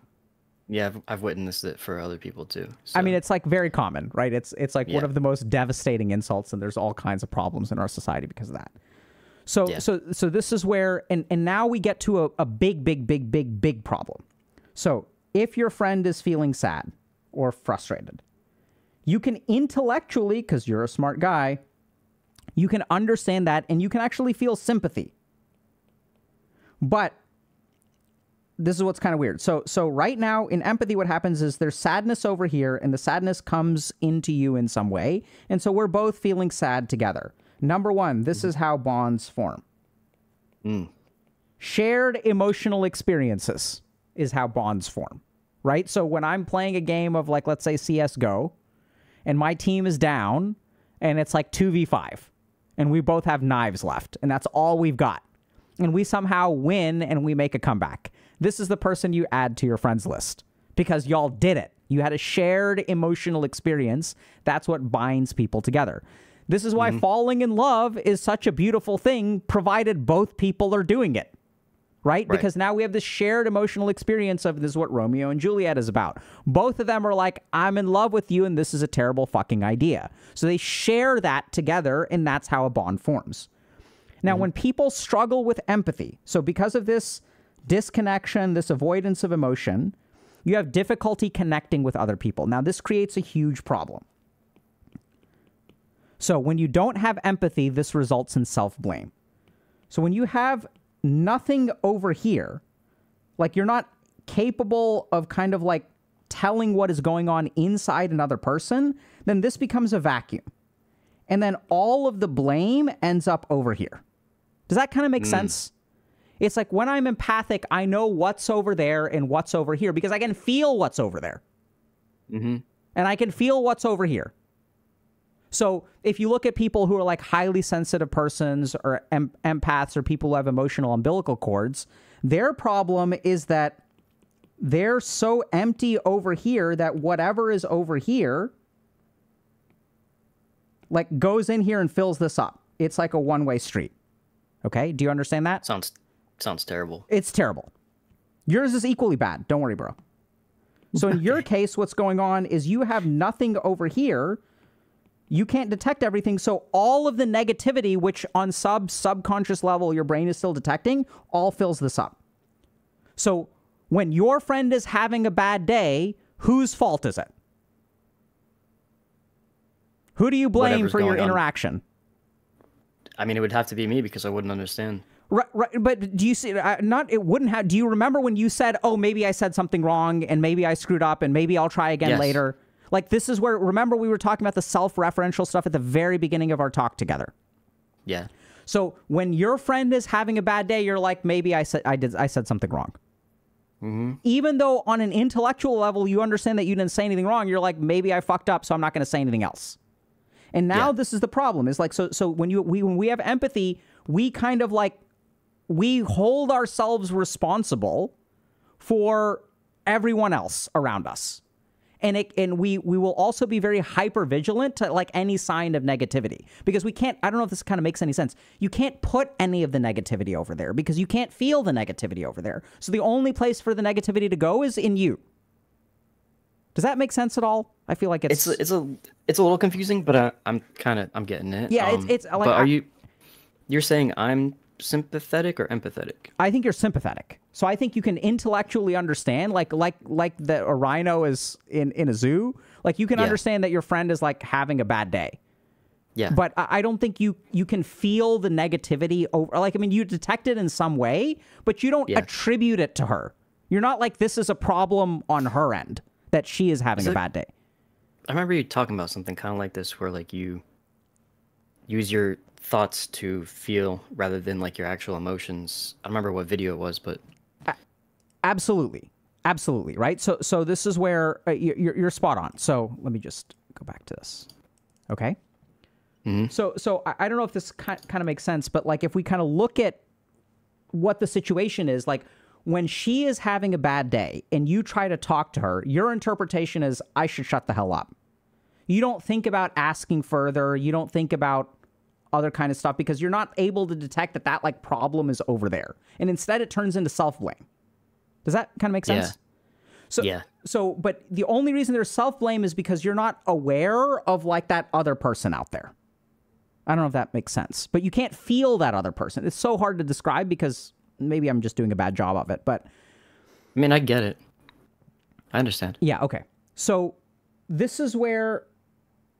So th- this is where one of the, the all this stuff. I think. I, I first of all, I think you can you can get basically what like everything that you want, Jacob. First thing, okay. Okay. I I think you can make friends. I think you can find love. I think it's like all fixable. I think it's all doable. And I think there's like a, a series of things that need to happen. The first is that you need to connect with yourself. So what that means Yeah. is no longer avoiding your emotions. So I know that that's difficult, and I know you're working on that, and you've been working on it for a little while. So that's great. Um, so that has to happen. And once you are, because as long as you're numbing yourself, other people aren't going to be able to connect with you either. Like when we hear, well, that's kind of like the whole. That's kind of like the whole point is like kind of pushing people away because of like betrayal of trust or whatever. You know, like just not wanting to get hurt. Well, well, yeah. So I think that's a separate thing. So the fear Oh, that someone will betray you is separate from Okay. them not being able to connect with you. So Gotcha. I would venture that you know if we think about making music, like that's cool. Like, and you're Yeah. a cool guy who makes music. But if you didn't make music, what would you be? What would people say about you? if I was just the same guy without the music, I feel like. I mean, I I'm learning German too, so that's kind of like another thing, I guess. Do you want to take that away too? If I'm the guy that doesn't learn German, okay. Absolutely smart. Yeah, right so so so so this is that's the thing is like you what you're doing is you're putting like medals on your chest to like Yeah. show people that you're someone i think there's a lot of genuineness to the, the music i'm not saying there isn't but what i'm Yeah. saying is that there's like a fundamental you-ness that i don't know that people see right like it, like people like he's just kind of there because I don't show it. Yeah I don't. Yeah, right yeah, It's it's not even about betrayal. We're not even telling you that you need to trust anyone. What I'm saying is that like the person that you are, you're so avoidant for your own, emotions that you, they don't come out. because so I, you're I feel like people almost don't really deserve it. Ah, now we get to something good. I feel like they don't deserve, deserve it. You're right. Tell me about that, bro. Now we get to the anger. Just fuck them, bro. Like, why do they deserve it? They didn't earn it. Tell me more. I don't even know how to explain it. It's like put. I don't know why they don't deserve it. They just don't. Like I don't want to give people that. I, I want it for myself so that I can be happier. Like some for some reason I think that it makes me happier. That I get to keep my piece of myself, and that other people can't take it. Yeah. So now we get to. This is something. Right. So, and so- it hurts. It hurts a lot. Yeah. Fuck them. Yeah.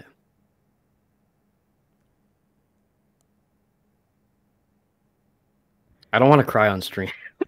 I don't want to cry on stream. Just think, femboys. Thank them. Femboy Axe body spray, new product. Right. So Get your here, femboy here Axe we are spray. again, running away, running away, running away. Yeah. Well, I mean, maybe I'll think about it later, but like I don't. I want to sit here and think about it because if I do, bro, I'm gonna start crying. I don't want to cry in front of thousands of people. Okay, fair enough. So then we're we're gonna help you not do that, right? But Okay. like, there's anger there. Like, I've. Do you want? I mean, something that might help you understand me a bit more. I was a very, very angry kid. I was always angry, always. Um, I would throw shit. I would call my mom a bitch, uh, till she washed my mouth out with soap. Then I didn't do that anymore, because I'll tell you, soap doesn't taste good, especially when it's like solid soap and it gets stuck in your teeth, and then oh, no good. But um, identity. You see? yeah, yeah. Identity. Eventually, I grew out of the anger, I still had it. Like when I played video games, I'd be very competitive in like CS:GO and stuff, and I'd get pissed off at that. But I've really pushed myself away from anger, and I, I really only get angry when I'm like at work and something's really frustrating. I get angry, um, but I still I'm trying to just not let anger control me. And it's hard when it's also linked to, man, fuck them.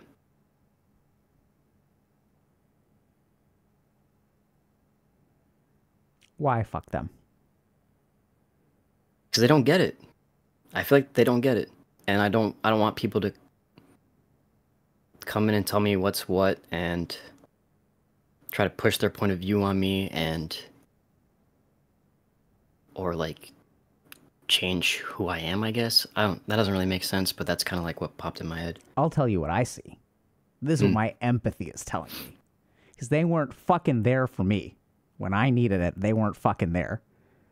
Exactly. And so why the fuck do they get me now? Like, you know, like fuck this empathy and being compassionate and caring about other people. Like why why why why how's this fair? Fuck them. That's what my empathy is telling me. I have no idea if that's true or not, but that's what I feel. No, that sound sounds right to me. sounds exactly like that's the whole point of like they don't get it is because they weren't there and they just maybe they understand on some other level, but they weren't they there for to me. understand. Yeah. And they just I didn't get the help that I needed, so why do I put myself out there? We ask, do you know how to care? Maybe you do, but you don't want to. It's weird, right? Because we've been asking, like, I- why don't why don't you care? I This is don't. why. And I then don't, you think you're a bad person. Yeah.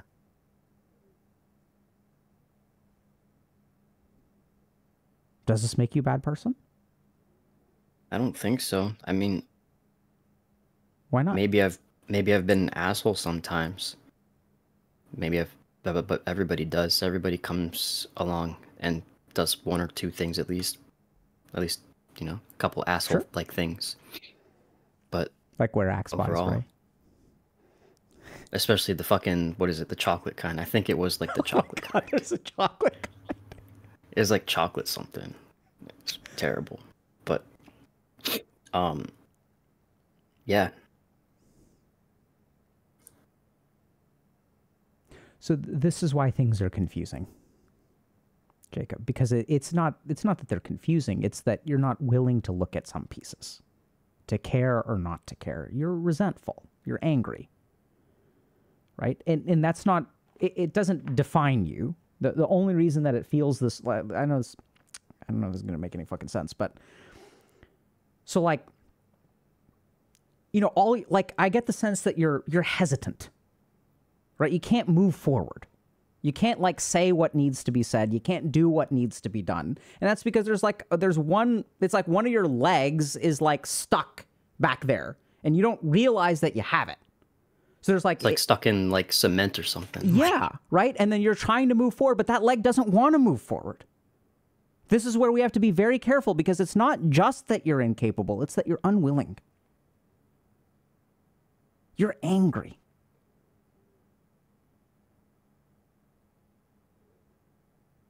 And now this is the crazy you've got to figure that out, man. Like it's not my place to say that you're good or bad. I don't think you're good or bad. You have to decide what the right thing is.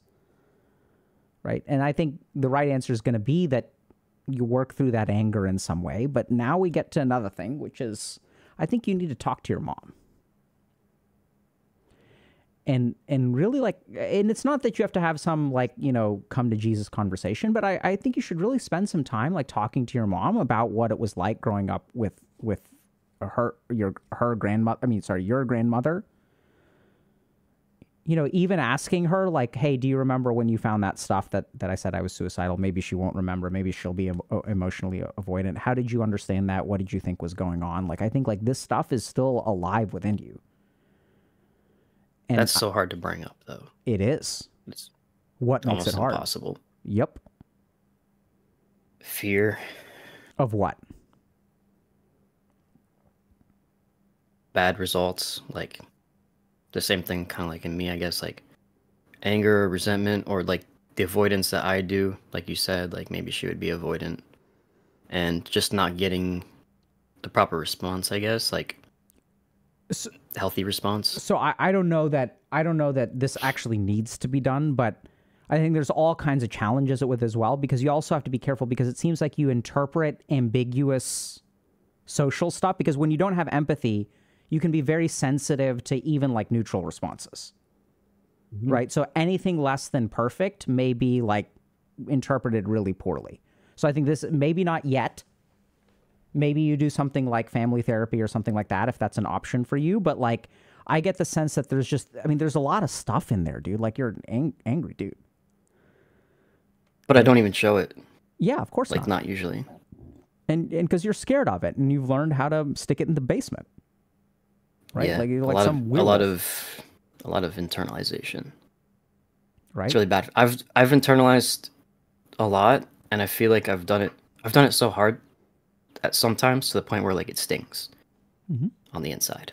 Yeah. And that's the worst. I never recommend that for anyone. Because that really, really hurts. I'm conflicted because on the one hand you said you didn't want to cry and it's clear you're right on the edge and on the other hand it sounds like you're saying something that is really important. So I don't know if I should ask more or if we should talk about nerd rage and letting it out on, on the internet. Go ahead and go ahead and ask more, because like I want I want people to know this. Maybe somebody's going through the same thing, and fuck, maybe they're sitting here about to cry. So tell me about the sting. Tell me about how it hurts you to be the way you are. Because I just want to be let out. Like I feel like I'm caging myself in, and I feel like some of it's the other people outside, and they're caging me in, and it just pushes all down to this like one little point, this needle that just stabs you right in the soul. Because like, it goes against me, but it also, it's like I'm going against myself. I'm fighting myself, it's like the people that I want to trust or care about are also fighting me. They kind of like go hand in hand. And it just it burns, man. It burns on the inside. And then I just ignore it. I ignore it because I don't know how to deal with it.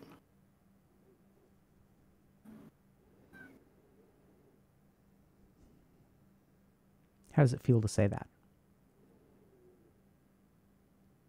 I feel a little better. It feels like I've acknowledged, and I feel like acknowledging is helping a little bit. That way, I can probably sit there and think about it a little bit more and kind of come to terms. So if you didn't, beautiful, articulate, right? Like t- turning it into a needle. Just, just you're compressing it as much as you can. But It's like a fucking like. You know space? Like you know about space, Yeah. like stars and shit. It's like fucking neutron star. You know, yeah, yeah, very small. it's one, like a, or like yeah, black hole. It just everything just gets put in that one point, and it just stabs you right in the heart. density though. Very, very. It's very, very intense stabbing. Yeah, You've taken something that used to be across your whole soul and you've crammed it down into a very dense little thing. Now, here's the question. Because you said that they hurt you too, right? You take their hurt and you take something that you're going to put on the outside world and you put it in, into you. What would it look like if you pointed it where it should be? that's the thing. Is like I, some of it should be in other places, but I don't want to let I don't want to let the anger, the frustration, or the pain out and hurt someone else. I'd rather hurt myself than do that. Yeah. I think that's, maybe some people deserve it, but I'm not gonna let it all out on one person. So I, I think there's a, a a- a very tricky balance here. I think it's got to come out, but it doesn't have to hurt. And this is where it's it's an issue of of knowing how, right? So it's got to come out, dude. So this is like, I mean, Freud noticed this when he was around. I don't know, like around 1900, where he noticed that anger turned against the self is the source of depression. When people stop getting angry at the outside world, they become depressed. And so I, I think that that anger is there, like the resentment is there, the unfairness, the unfairness, Jacob, the unfairness of your life. I wouldn't call it unfair either. Why not? I'm I'm not gonna sit there and call it unfair and kind of absolve myself of responsibility. Maybe I'm not responsible for all of it, but I'm gonna try But my fucking hardest. But you're going to take responsibility for all of it, I guess, yeah. right? I'm Yeah. not saying you shouldn't try your hardest. right. And we're not saying, I mean, so nowhere in this conversation have we heard a single mention of a dad. Right? And we don't need to get into it now, but I think it's a conspicuous absence. Yeah. And so like I mean I'm I'm I'm and this is that that too is like when you say I'm not going to. That's anger. Fuck it. I refuse. I'll I'll accept all of the responsibility. Why? Because if you have responsibility, you have the power to change things. You're not surrendering. I'm not gonna I'm not gonna surrender. I feel like it's kind of like a good kind of anger, though. Yeah, it certainly can be. Yeah. Right. So I, Except not, when you turn it all against yourself. And I think the biggest problem is that that see, here's the problem. So let's say let's say you and I queue up for a, a match of Rocket League. And let's say That sounds awesome. that does sound awesome. Just wait. We're not done with our hypothetical. Remember the context of the conversation. Okay. It's not going to be awesome. Right? And so let's say that I fucking suck at Rocket League because I've literally never played the game. And I don't know if you is it Okay. like 2v2? Is there a 2v2? 2v2, 3v3. Okay, so let's say we go we go two v two, right? And Yeah. and then we lose because I suck. And then you go on blaming yourself. You're like, I'm such a piece of shit. I'm so bad at Rocket League. And there's no question that you can improve to the point that potentially you could carry my bitch ass to victory. Right. But the problem is that the moment that you start accepting responsibility for what is my fault, it fundamentally becomes unfixable. So if I go on saying, you're a piece of shit, that's why we're losing, and then you go on saying, I'm a piece of shit, that's why we're losing. If you accept all of the responsibility, we will never be world champions. Responsibility must be attributed to who truly owns it. And you accepting it for other people doesn't actually fix anything. May make you feel good. May let you protect other people. Oh, mom, I was just venting. You may be able to do all kinds of stuff. But if they are actually at fault and you accept responsibility for it, those patterns will continue. You know what really sucks? The idea of a 10 year old trying to take responsibility from his mom.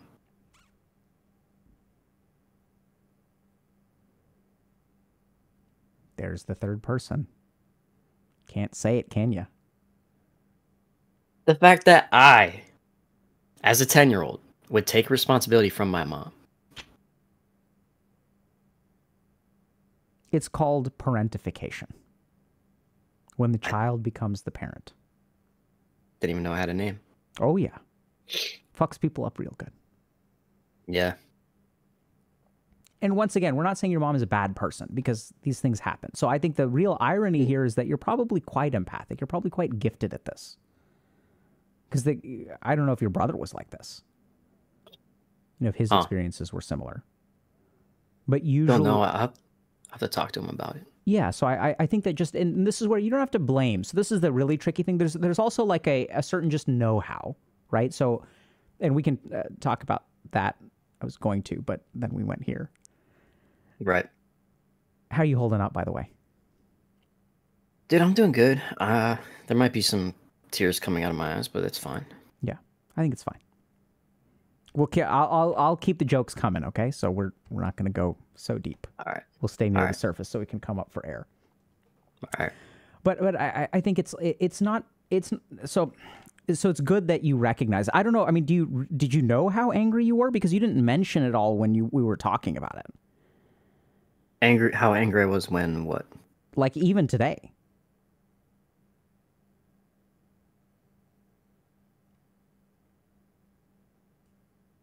There's no. There's no quantity.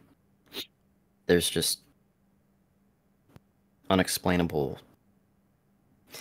I have like just a ball of emotions. Yeah. It's all tangled up, right? And all kinds Yeah. of stuff. Yeah. So so that that's like when we avoid and stuff, that's what happens, right? So it all gets like it's like we have a bunch of junk mail and we just shove it into the closet and we don't know what's good, we don't know what's bad, we don't know what's, you know. And so all that stuff has to come out, dude. And like because like this is the thing, how can you know who you are when you take all these pieces of yourself and you like shove them in the closet? How can other people know who you are? With the closet door locked. Absolutely. Yeah. Right. It's like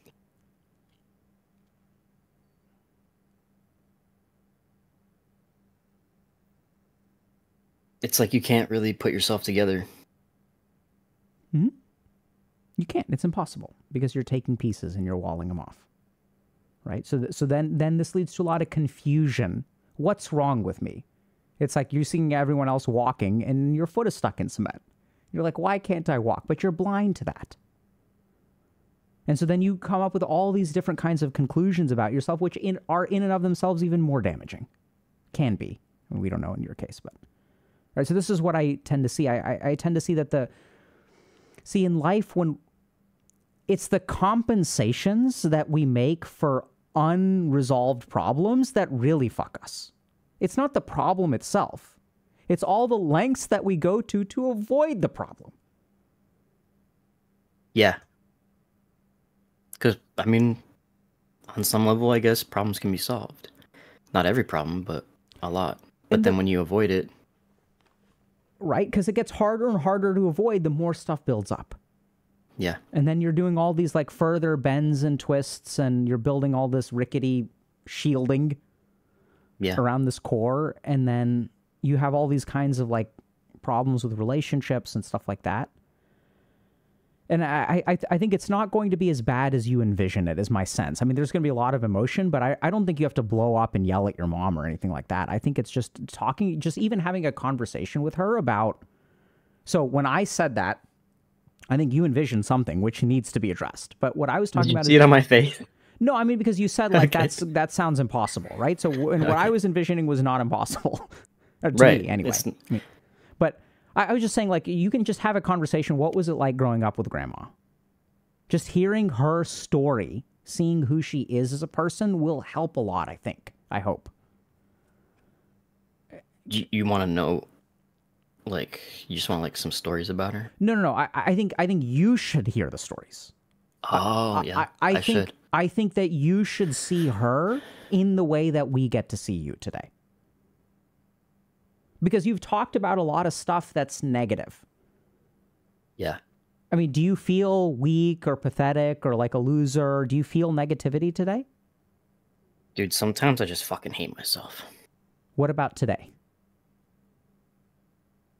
I think today I'm a little proud of myself doing this. Even though I'm sitting here anxious as fuck the entire time, I'm still pushing through it.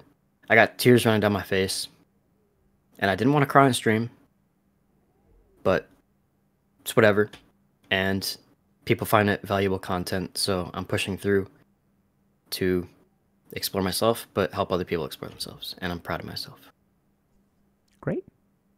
And- And you said sometimes you fucking hate yourself. So do you want to say more about that? It's the same thing, like people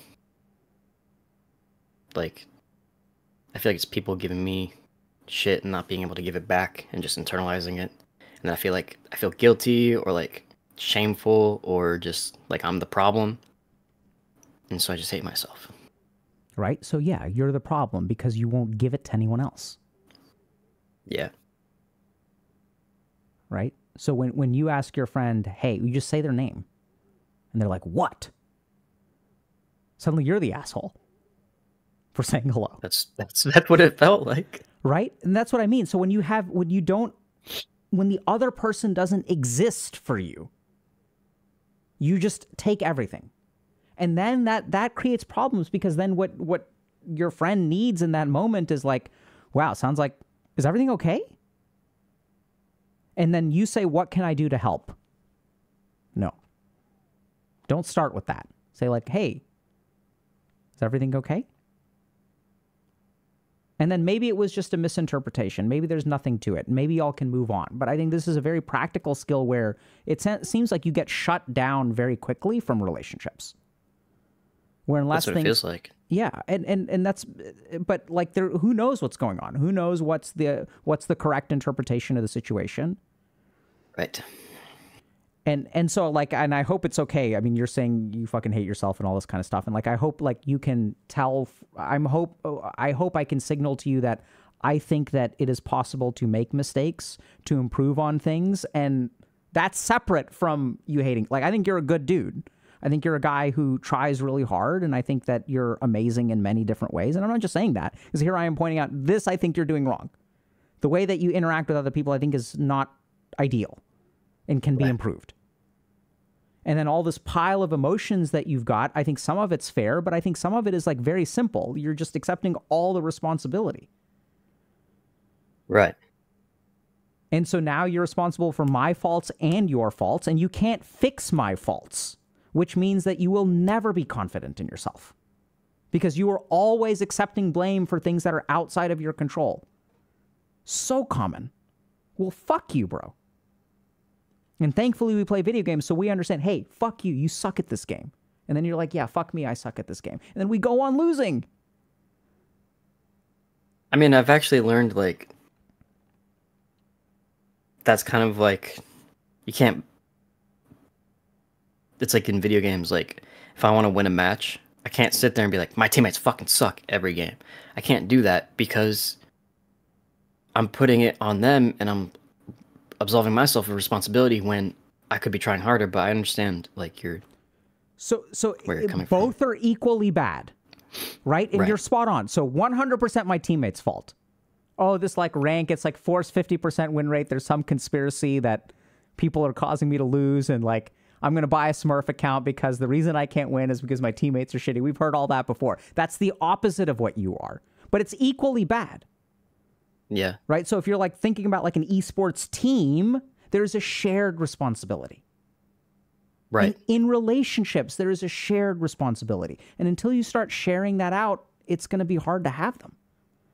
And if you're not, if, I haven't heard this yet, but if you're not careful, you'll attract the worst kind of people, which is people that agree with you devastating. I don't hear anything about a romantic relationship, but this is something you got to be careful about because sometimes when there's people like you, you'll find an abusive partner.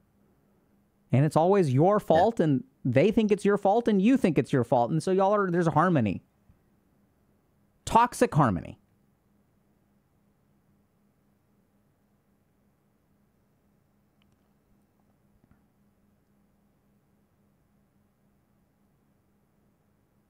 It's a lot to process. Yeah, it is. It's okay.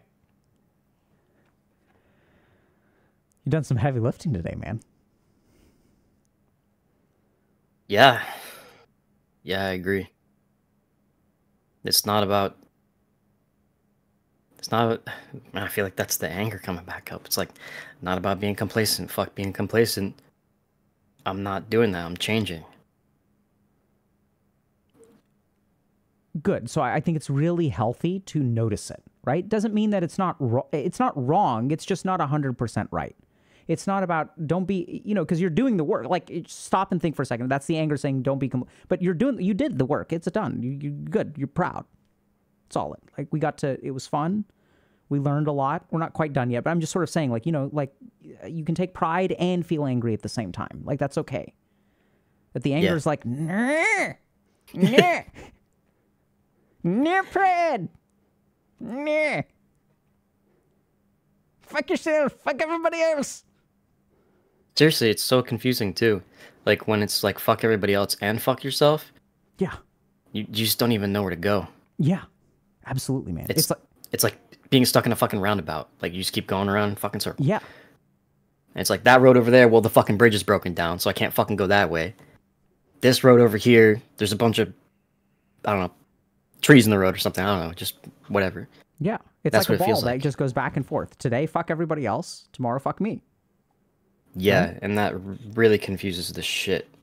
I was gonna, I was gonna say, really confuses the shit out of you. I was gonna say it. Jacob talks about himself in the third person. I do, I do. Yeah, right. So, so, so that it's so interesting so so you're you're you're you're doing honestly, bro. You're doing great. Like you, the neuroplasticity is like kicking in. You're like, oh, this pattern, this pattern, this pattern. And that here's the beautiful thing. So think about the roundabout. And say yeah. you get the only reason there's exits all over the place. It is your lack of awareness that keeps you from seeing them. Yeah. And so you have to realize. See, eh, here's the crazy thing: when you're on the roundabout, and you switch sides, you don't think you're on a roundabout. You think you're moving forward. That's the crazy thing and then tomorrow you're moving forward. It's not even a roundabout. You're not trapped. You're on just a regular road and you keep on fucking turning around. And it feels like I don't know, it just feels like eventually you're just gonna drive straight through the fucking like the field or whatever that's on the side of the road. Yeah, right. And that's because you're just tired of it. Eventually, and that's like the suicidality and all that kind of stuff. And you're like, fuck it, I'm done with this road. I'm just gonna head for the hills. Yep. Right. And and that's where and that's, all that's kind of like I feel like I was starting to end up at. I had I had like four people in my life tell me I should go to therapy, so I was like, guess I should go to therapy. Good for you, man. yeah, How's it been? I've been told people at work have told me that I seem way happier, which is very confusing. It's like they're like, "Why you seem like way happier?" Like I think you know therapy's doing good. Like he seems happier. Like I hear them talk about me in front of me. Like they explain to other people, um, and they explain to me that I seem happier. But then like when I look on the inside, I'm like, "Am I happier?" So I, I think I think this is where there's so when we're disconnected from ourselves. So I think the big irony is that sometimes when we when we go into therapy, what happens all this stuff is dormant, and so it all becomes Yeah. active. And so Yeah. what what's probably happening is you're feeling a lot more, but in it's almost like an enclosed space, like a safe space where all that stuff comes out, and then you're not carrying it around the rest of the time. That's what Yeah. people are really confused about. So it's very common for people to subjectively feel worse, but then there's usually something very similar to what you're experiencing, which is some amount of pride, but like there's a lot of negativity coming out. I mean, is it a good thing? Yeah, I think so. I mean, it doesn't feel bad to me. Like it feels, feels potent. it, it feels bad that I have to ask if it's a good thing. This is self judgment. Go for it. Judge yourself. Right? I mean, that's your mind is going to do that. I I don't judge you for it. Right. And now the question is can you be empathic enough to lean into what I'm doing, or are you going to be 100% in what you're doing and judge yourself? Like, so now we're going to feel- practice something. Oh, go ahead. Okay. I feel like I understand partially like Look at my what you face. yeah, What do you see? seriousness and and honesty, What else?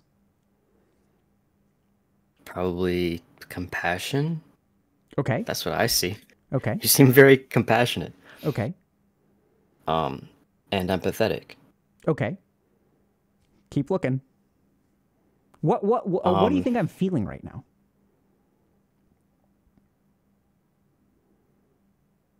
Mm, I'm just thinking about it. I can't feel it. So you're not even looking. You're looking away. So I, I, I'm trying to think about it, but yeah, like, you're trying to think. Don't think. Look. Perceive. Don't cognate. Look into my eyes. Right? So what what do you see on my face? Describe the features. Ha- happiness. yeah. It's confusing, isn't it? Yeah. So now you have to be careful. This is a very important skill. When we perceive something that does not make sense to us, the mind will start to play around with it. I am happy. I'm excited. If this was anyone but you, if you were fucking watching this, you would be able to tell. And people mm. see happiness in you too. What are you doing right now? Smiling. Why? Because I feel like I learned a lot about myself and that I can perceive your happiness right now. And and this this may be just me being in here and not empathic with you, but I think we're having fun today. Maybe not the most. honestly, honestly, yeah, it's it's been great. I've been like waiting for this day, and then the day came, and I'm like sitting there making coffee like an hour before, and I was like shaking. I was shaking like the whole first hour we were talking. but it's been fun, and like I don't know, it's been fun to talk to you and meet you because you seem like a really honestly past past the YouTube and Twitch and all that stuff, all your coaching stuff. You seem like a really cool guy. Um, how old are you? I don't remember how old you are. 41. Holy shit, you look way younger than 41. you look way younger than 41. It's it's it's all the Dota, man. It just keeps you young, you know. Yeah, I'm sure it does. I'm sure it all the- does. I'm telling you, man, just let the nerd rage out. Let it out, baby, and you will be eternally youthful. Yeah, I get that, honestly. No, I mean, But yeah, I mean, it, it was just really cool to meet you. I think that it, it's been a lot of fun. Yeah, it's weird, right? And so th- th- that's the thing. I'll leave you with one last thing because it sounds like we're done. And and um and don't read too much. And you're like, oh my god, did I say the wrong? No, is that what? Don't do that. Okay. It's a good time to stop. So like, Okay. and th- this is what life is. So like, this is the biggest lesson that most of us are not taught. It's a fucking shit show, man. It's my team throws and then their team throws, and just don't give up because there's always going to be a throw. There's fluctuations. There's good days. There's bad days. There's happiness. There's fun. There's there's jokes. There's tears. That's what life is. You don't Yeah. need to avoid it. The beautiful thing is that when you stop avoiding life, the bad stuff somehow gets less bad. Because even when your teammates are throwing, you can laugh. How terrible. We had such a big lead. How are these guys throwing? How can you throw this hard? But the moment that we start running away from it, you know, this is what life is, man. And I think this is what you've missed out on for whatever reason your birth, your circumstances, your karma, your choices, right? Some of it you control, some of it you don't control. Stop running away.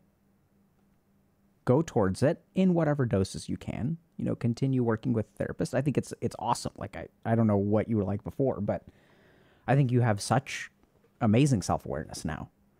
You you would have been surprised. I probably had like a good amount of self awareness, but I probably would have just been like absolutely horribly depressed. Great. I mean, not great Yeah. that you would have been that way, but you know, right. Great that I'm not. yeah, I'm, I'm I'm happy to hear that. I'm I'm happy we got the version of you that we got today, Jacob. I think it's a fantastic version. Mm. You know, you seem like a really solid guy, and you know, the only thing left, I think, is we have to listen to your track Oh boy. if you want us to. But if you don't want us to, we won't. You can send us whatever you feel comfortable with. Maybe it's too much. I've- Maybe we can't handle What it. it so I have chat off, but what are they saying? They want to listen to I have Femboy friend? chat off too. I have no fucking idea. You think I can gonna check. pay attention to chat and do this at the same no. time? No. Um yeah, they want to listen to Femboyfriend. They want Femboyfriend.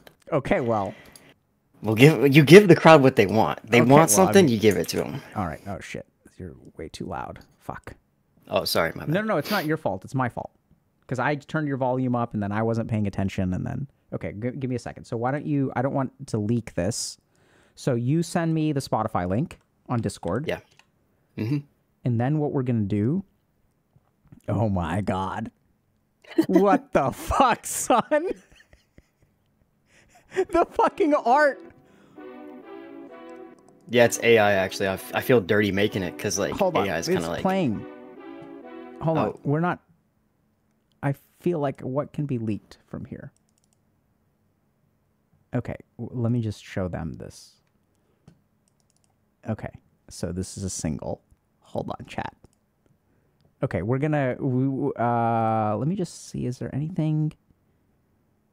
Um, I'm just making sure that I'm not gonna leak anything if I show my Spotify. So uh, actually, I guess we can just we can turn it on, and then I will just have you over. Or we'll we'll see your your face. all right. Okay, here we go. All right. I made here's- I made everything. I made like the beat, the artwork. I did the vocals. Okay. So this is me. it's terrifying art. Okay. I see it's explicit. Are we gonna get banned? Am I gonna get banned for playing this? No, there's no N or F word. Okay. If that's what you're concerned about. I mean, I- let's go, Yeah, chat. I need that boy pussy. I need that type pussy. Real shit. If I got it, I'll give a nice look. See, I'll I, take more. can't, I can't. I can't. It's too much. I can't do this on stream. You can it? No, no, I you can't. I can't handle it. It's pretty explicit, man. It's pretty explicit. It's too much. It's too Sorry, much. my bad. No, I mean I think it's glorious. I'm gonna listen to it privately, All but right. I can't. I can't. Kids watch this, man. People's grandmas. Oh, I'm sorry. Watch it. No, it's my, not my, your my bad. I'm sorry. It's not your Okay. fault. I didn't know. We. It's called Femboyfriend. What Yeah. could we expect? I should have. I guess I kind of should have warned you. It's it's pretty dirty. I mean, so I think we can. You guys can just search for it on Spotify, but I do not think this is. We have like you know, like my mom watches this sometimes. So, as much as Oh, I want to support your artwork, no, it's not your fault. It's not Okay, your okay, fault. okay. I'm being Alright. transparent with you. I'm sharing responsibility. I'm saying this is a shortcoming. Please, or I know you're gonna feel bad, but you get where I'm coming from. Yeah, yeah. I think it's great. It's on it's on Spotify. It's called Femboyfriend. Yeah. Is it on YouTube too? Yeah. Okay, so it's on YouTube. So I hope can, Grandma didn't hear that. I think it's epic. it sounds pretty fucking hype, yeah, it is. but is also just a bit too Right. Too know- much. Too much. a bit too much. But I, I think it's quite epic how we lasted like, I don't know, four seconds, five seconds. It's like, it's all we can handle. Oh, you could tell us about your childhood neglect. You could You- tell us about suicidal at the age of 10, but fucking, But I can't rap about femboys. Yeah, I didn't understand some of those words. I've never heard some of those words Oh. in combination before. Sheesh. But, you know, so I think you win an award, Jacob, for the first person in the history of streaming who has made me bow out of something. Oh, dude, I don't know if I want that award. You're such a cool guy. I will, like, I uh, will listen to the song for sure. All right. I just really don't think it's appropriate because we do have some people who are like under the age of 18. So, like, I understand. but I understand. We should no. not. but the the beat is an absolute banger. It, you know what's funny about it is it was like the simplest beat I ever made. I just did like little horns and then bass and then drums. I spent 10 hours on beats before. And then everybody's like, I love this beat. This beat's fire. And I'm like, dude, I spent like 30 minutes on it. Well, it's you know when it's when, it's co- about when it- you it just bring everything when out. When it comes from the heart or other places, you know. Maybe that's where.